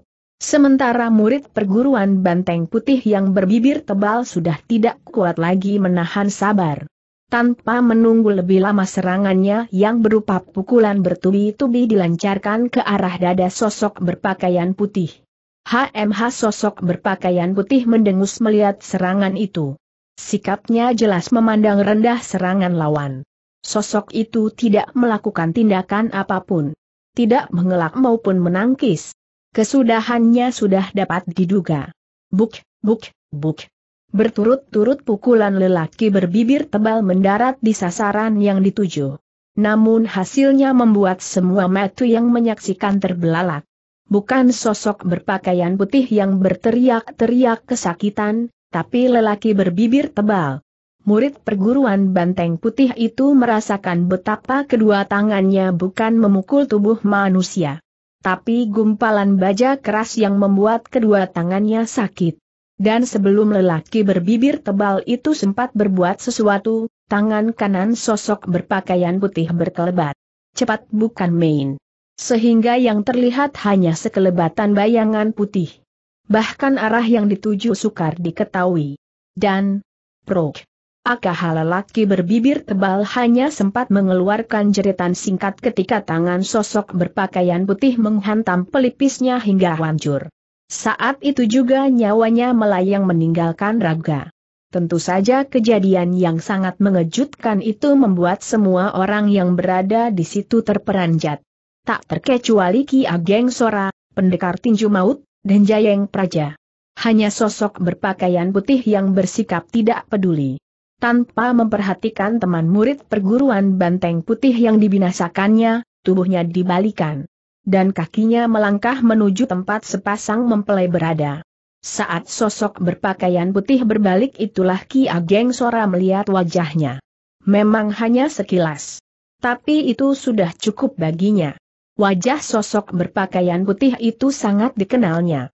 Orang itu adalah Sangkala desis Ki Ageng Sora kaget. Tak disangka secepat itu murid-muridnya kembali, dengan membawa kepandaian menakjubkan. Jadi, dia muridmu yang murtad itu, Sora hampir bersamaan pertanyaan diajukan pendekar tinju maut dan Jayeng Praja. Ki Ageng Sora memang telah menceritakan perihal Sangkala. Begitu mengetahui sosok berpakaian putih itu Sangkala, Ki Ageng Sora segera mengetahui maksud kedatangannya. Apalagi kalau bukan untuk membalas dendam dan dari tindakannya tadi, Ki Ageng Sora tahu tingkat kepandaian Sangkala telah meningkat berlipat kali hanya dalam waktu singkat. Entah bagaimana Ker Sangkala mempelajarinya.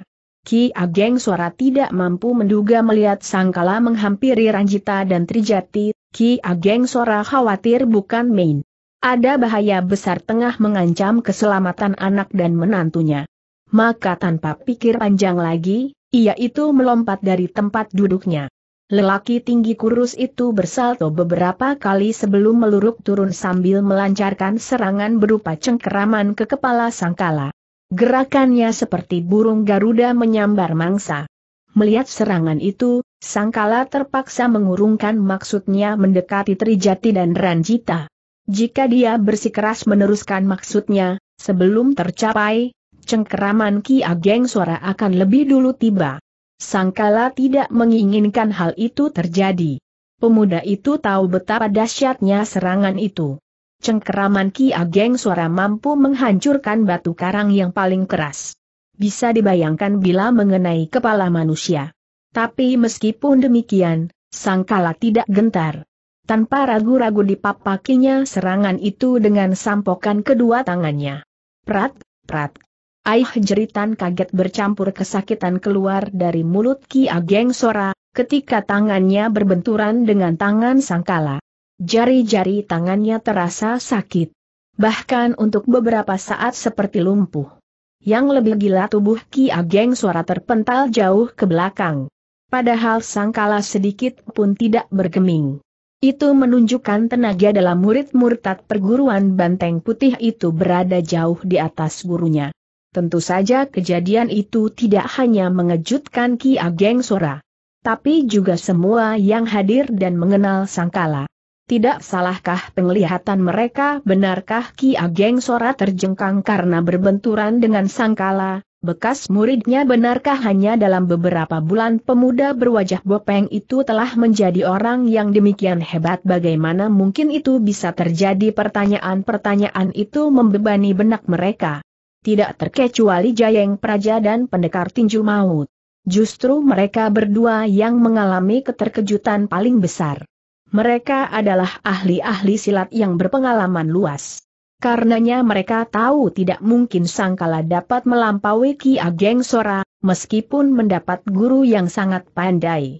Lagi pula, mana mungkin dalam waktu yang sangat singkat mampu memiliki tenaga dalam melebihi ketua perguruan banteng putih. Ki Ageng Suara bukan tokoh sembarangan. Dia merupakan tokoh tingkat tinggi golongan putih. Walaupun tidak termasuk datuk, tapi tidak mudah menemukan tokoh yang berkepandaian setingkat dengannya. Namun kenyataannya dalam benturan tenaga sangkala lebih unggul. Adakah yang salah atau, jangan-jangan Ki Ageng Suara tidak mengerahkan seluruh tenaganya? Mereka tidak tahu Ki Ageng Sora sudah mengerahkan seluruh tenaga dalamnya.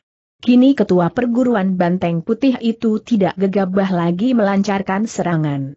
Dia sadar Sangkala telah memiliki kepandaian tinggi. Entah dengan care bagaimana.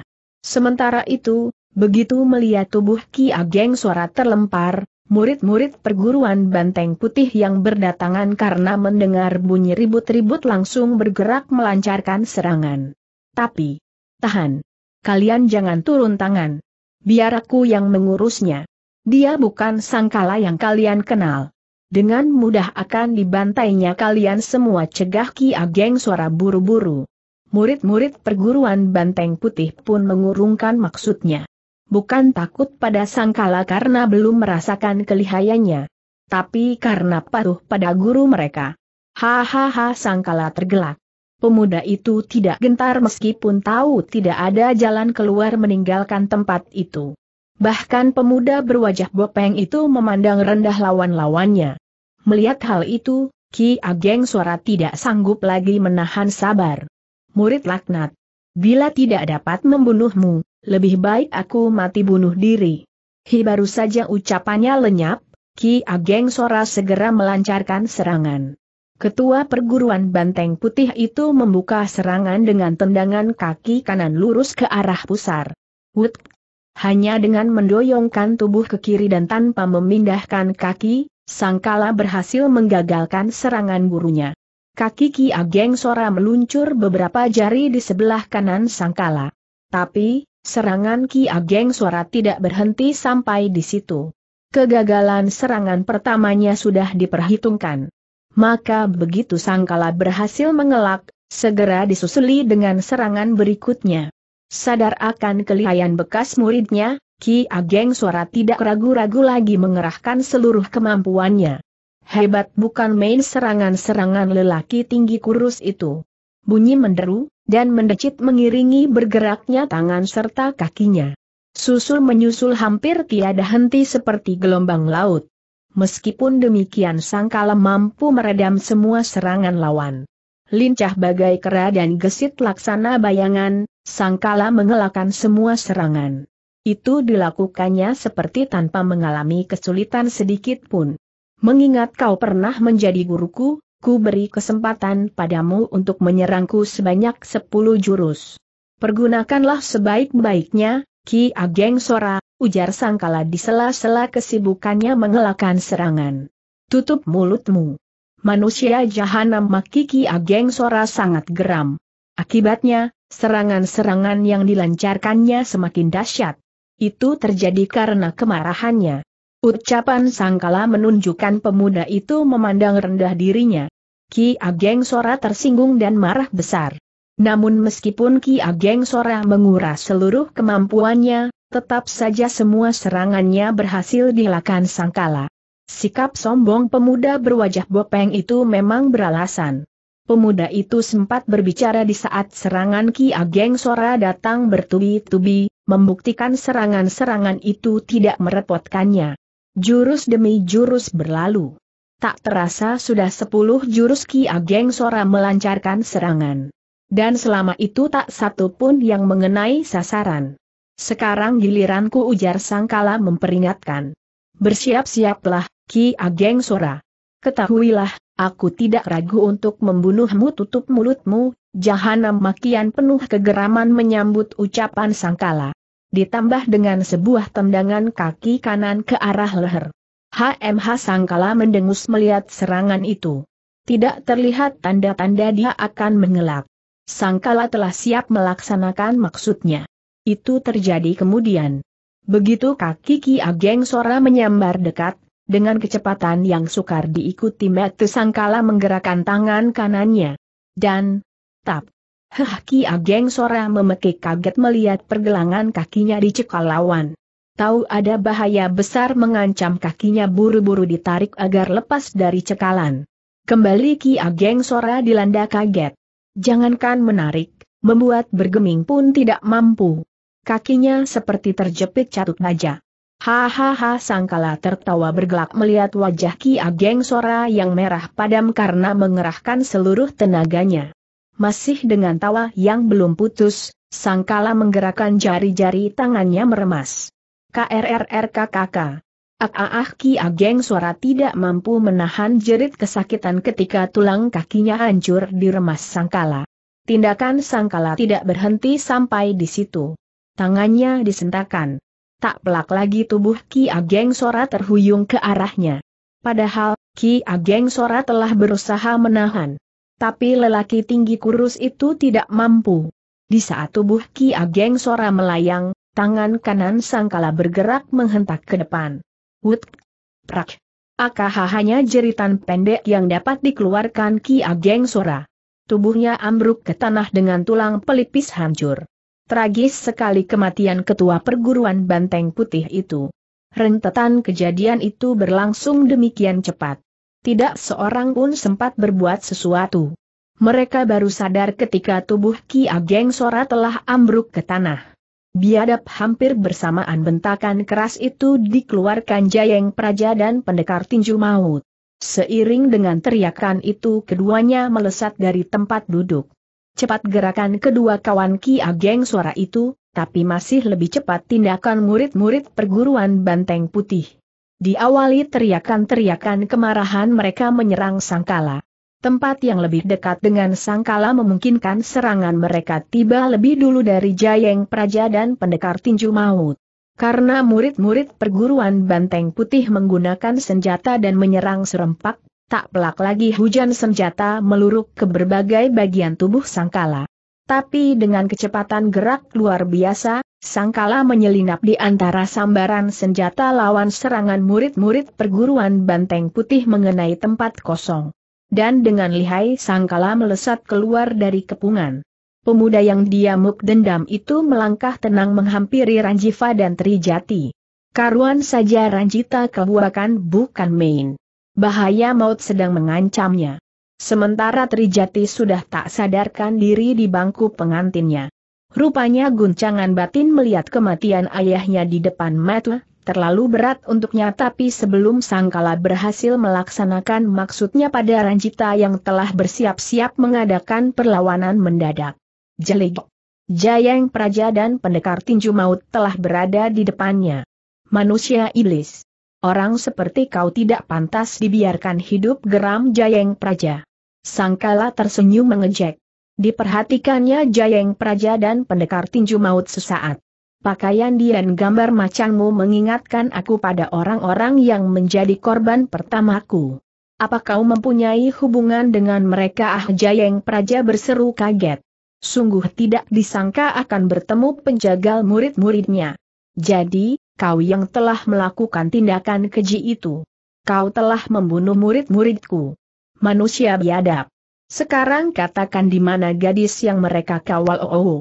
Jadi mereka murid-muridmu lalu siapa gadis yang ada di dalam kereta anak mukah EJ, Sangkala tenang.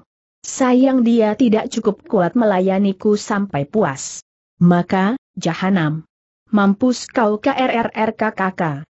Ah ah ah jerit Ki Ageng suara tidak mampu menahan sakit ketika tulang kakinya hancur di remas Sangkala. Lalu, Sangkala masih menyentakkan tangannya ke depan. Wut! Prak! AKH tubuh Ki Ageng suara ambruk ke tanah.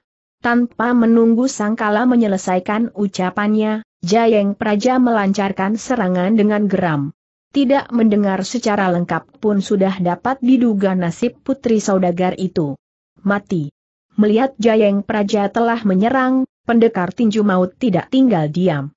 Dia pun melakukan hal yang sama. Sebab Jayeng Praja tidak akan mampu menghadapi Sangkala sendiri. Tingkat kepandaian ketua perguruan harimau terbang itu setingkat dengan Ki Ageng Sora.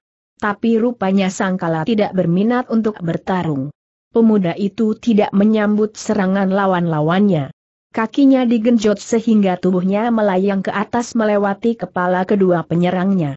Begitu kakinya mendarat di tanah, Sangkala melesat ke arah Trijati. Jelas, pemuda itu mengincar Putri Ki Ageng Sora. Ranjita pun tidak bisa tinggal diam. Pemuda itu tidak ingin istrinya mengalami nasib serupa dengan Wulan dan Widuri.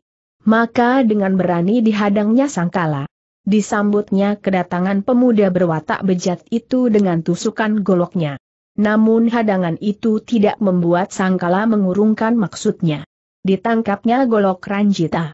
Hanya dengan sekali sentak tubuh Ranjita dilemparkan. Lalu dengan secepat kilat meluncur ke arah Trijati. Dan, tap. Begitu tubuh Putri Ki Ageng suara berhasil ditangkap, Sangkala melesat meninggalkan tempat itu. Tentu saja Jayeng Praja, pendekar tinju maut, murid-murid perguruan Banteng Putih, dan yang lainnya tidak membiarkan hal itu terjadi. Mereka segera menghadang. Tapi kejadian sebelumnya terulang kembali. Dengan mudah Sangkala berhasil meloloskan diri. Lalu, dengan beberapa kali lesatan, pemuda berwatak bejat itu telah berada di luar bangunan perguruan Banteng Putih. Meskipun demikian, Sangkala tidak mengendurkan larinya. Pemuda itu terus melesat dengan kecepatan tinggi. Sehingga dalam waktu singkat bangunan perguruan Banteng Putih telah jauh ditinggalkan. Baru setelah itu Sangkala mengendurkan larinya. Mendadak. Berhenti terdengar bentakan keras menggelegar laksana sambaran halilintar. Bentakan itu dikeluarkan dengan pengerahan tenaga dalam tinggi. Tapi bukan sangkala kalau menjadi gentar. Dengan berani pemuda itu menghentikan langkah. Lalu berbalik untuk melihat orang yang telah mengeluarkan bentakan itu. Empat tombak di depan sangkala berdiri dua orang muda-mudi. Yang gadis mengenakan pakaian putih dan berambut panjang. Sedangkan orang yang berdiri di sebelahnya seorang pemuda berambut putih kiprakan. Pakaian ungu membungkus tubuhnya yang kekar. Siapa lagi kalau bukan Dewa Arak dan Melati? Cepat serahkan wanita itu, manusia biadab tegas Dewa Arak lantang. Lagi-lagi kalian, sahut Sangkala tersenyum mengejek, ku beri kesempatan pada kalian pergi dari sini sebelum aku merubah keputusan. Cepat. Atau kalian ingin mengalami nasib yang sama dengan rombongan yang kalian temukan di hutan beberapa hari lalu Dewa Arak dan Melati langsung bertukar pandang mendengar ucapan itu. Mereka sungguh tidak menyangka orang yang menculik mempelai perempuan ternyata orang yang melakukan tindak kekejian terhadap gadis yang telah mereka kuburkan. Dewa Arak dan Melati telah mengetahui Sangkala menculik mempelai wanita. Di perjalanan mereka bertemu dengan rombongan Jayeng Praja yang melakukan pengejaran. Jadi, kau penjahat terkutuk itu desis melati geram. Kalau begitu, mampuslah Wud. Bunyi deru angin keras terdengar ketika melati melancarkan serangan. Tangan kanannya yang terkembang membentuk cakar diluncurkan ke arah ulu hati Sangkala. Dalam cekaman kemarahan yang menggelegak, Melati mengeluarkan ilmu cakar naga merah andalannya. Ah Sangkala berseru kaget melihat tangan melati, sebatas pergelangan, merah seperti darah. Sekali lihat saja dia tahu kepandaian gadis berpakaian putih itu lebih tinggi dari Ki Ageng Sora. Maka Sangkala tidak berani bertindak main-main. Hih sambil menggertakkan gigi, dipapakinya serangan melati dengan pengerahan seluruh tenaga dalamnya. Dan, prat, Terdengar bunyi keras ketika dua tangan yang mengandung tenaga dalam tinggi berbenturan. Tubuh melati terjengkang ke belakang. Sedangkan Sangkala terhuyung mundur selangkah. Ini menunjukkan tenaga dalam bekas murid Ki Ageng Sora itu lebih tinggi dari lawan. Jelik. Begitu berhasil mendaratkan kaki di tanah, Melati segera bersiap melancarkan serangan berikutnya. Tapi, Maksudnya terpaksa diurungkan ketika Dewa Arak menyentuh lengannya. Biar aku yang menghadapinya, Melati. Dia terlalu kuat untukmu, ujar Dewa Arak lembut. Lalu tanpa menunggu tanggapan Melati, Dewa Arak melangkah maju. Guci araknya yang tergantung di punggung segera diambil dan dituangkan ke mulutnya. Gluk, gluk, gluk. Terdengar bunyi tegukan ketika arak itu melewati tenggorokan Dewa Arak. Sesaat kemudian kedudukan kaki pemuda berambut putih keperakan itu tidak jejak lagi. Oleng ke kanan dan kiri. Ilmu belalang saktinya telah siap dipergunakan. Sementara itu Sangkala sadar lawannya kali ini jauh lebih pandai dari gadis berpakaian putih. Disadari pula Dewa Arak telah menggunakan ilmu andalan. Maka, tubuh Trijati dilemparkan ke tanah. Lalu pemuda berwajah berbopeng itu mempersiapkan jurus kelelawar. Diam-diam Sangkala menyesal telah memberitahukan dirinya pelaku tindak kekejian terhadap gadis berpakaian hijau. Itu membuatnya terlibat dalam keributan dengan tokoh-tokoh tingkat tinggi di saat dirinya tidak ingin bertarung. Tapi, nasi telah jadi bubur. Tidak ada jalan lain kecuali bertarung. Dan itulah yang dilakukan Sangkala sekarang. Cit, cit, cit diiringi bunyi berdecit nyaring dan gerakan tangannya, Sangkala melompat menerjang Dewa Arak. Ketika berada di udara, tangan kanannya disampokkan ke pelipis lawan. Wut! Hanya dengan merendahkan tubuh ke kanan. Dewa Arak berhasil membuat serangan itu mengenai tempat kosong. Sampokan sangkala lewat beberapa jengkal di atas kepala. Dan karena kuatnya tenaga yang terkandung dalam serangan itu, rambut dan pakaian Arya berkibaran keras. Kegagalan serangan pertamanya membuat Sangkala penasaran. Maka serangan-serangan susulannya pun semakin dahsyat. Tapi, Dewa Arak sanggup memunahkan. Bahkan serangan balasan yang dikirimkan pemuda berambut putih keperakan itu tidak kalah dahsyat. Pertarungan sengit dan menarik antara dua tokoh muda yang berkepandaian tinggi itu pun tidak bisa dielakkan lagi. Hebat bukan main pertarungan yang terjadi bunyi mendecit, menderu, dan mengaung menyemaraki jalannya pertarungan. Ditambah dengan bunyi tegukan ketika Dewa Arak menenggak araknya di sela-sela berlangsungnya pertempuran.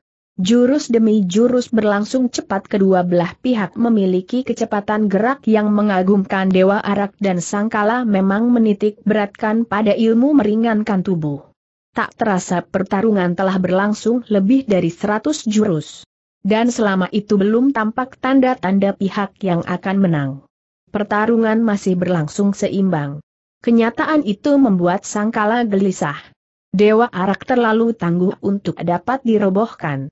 Lagi pula, andaikan dapat pun membutuhkan waktu yang lama. Padahal, dia tidak ingin berlama-lama di tempat itu.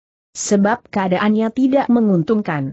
Bila Melati turun tangan, atau rombongan pengejar perguruan banteng putih tiba dan mengeroyoknya, dia bisa celaka. Pemikiran ini menyebabkan Sangkala memutuskan untuk melarikan diri. Dan kesempatan untuk itu tiba. Itu terjadi pada jurus ke-123. Hih Sangkala melemparkan tubuhnya ke belakang dengan bersalto beberapa kali. Lalu berbalik dan melesat kabur. Dewa Arak yang sudah bertekad melenyapkan sangkala tidak membiarkan hal itu. Arya melesat mengejar. Pada malam yang mulai beranjak dini hari itu pun terjadi kejar mengejar. Melihat hal itu, Melati tidak tinggal diam. Gadis itu ikut mengejar setelah menyambar tubuh Trijati dan meletakkannya di bahu kanan. Sementara itu Dewa Arak berusaha keras menyusul Sangkala. Tapi jarak antara mereka tidak berubah. Agaknya ilmu lari cepat mereka berimbang. Hingga serak. Sangkala menyelinap ke balik rimbunan semak-semak dan pepohonan. Tapi tanpa ragu sedikit pun Dewa Arak turut menerobos. Namun kenyataan yang dilihatnya membuat Dewa Arak tercengang. Sangkala tidak dijumpai ada di situ. Padahal di balik jajaran semak dan pepohonan terdapat tanah lapang yang membentang luas. Mengapa Sangkala tidak terlihat lagi apakah pemuda berwajah bopeng itu menghilang kalau dia terus berlari, tentu akan terlihat oleh Arya. Karena jarak mereka sejak tadi tetap lima tombak. Rasa penasaran membuat Dewa Arak mengedarkan pandangan ke sekitar tempat itu. Bahkan Arya memeriksa semak-semak dan pepohonan yang hanya sedikit.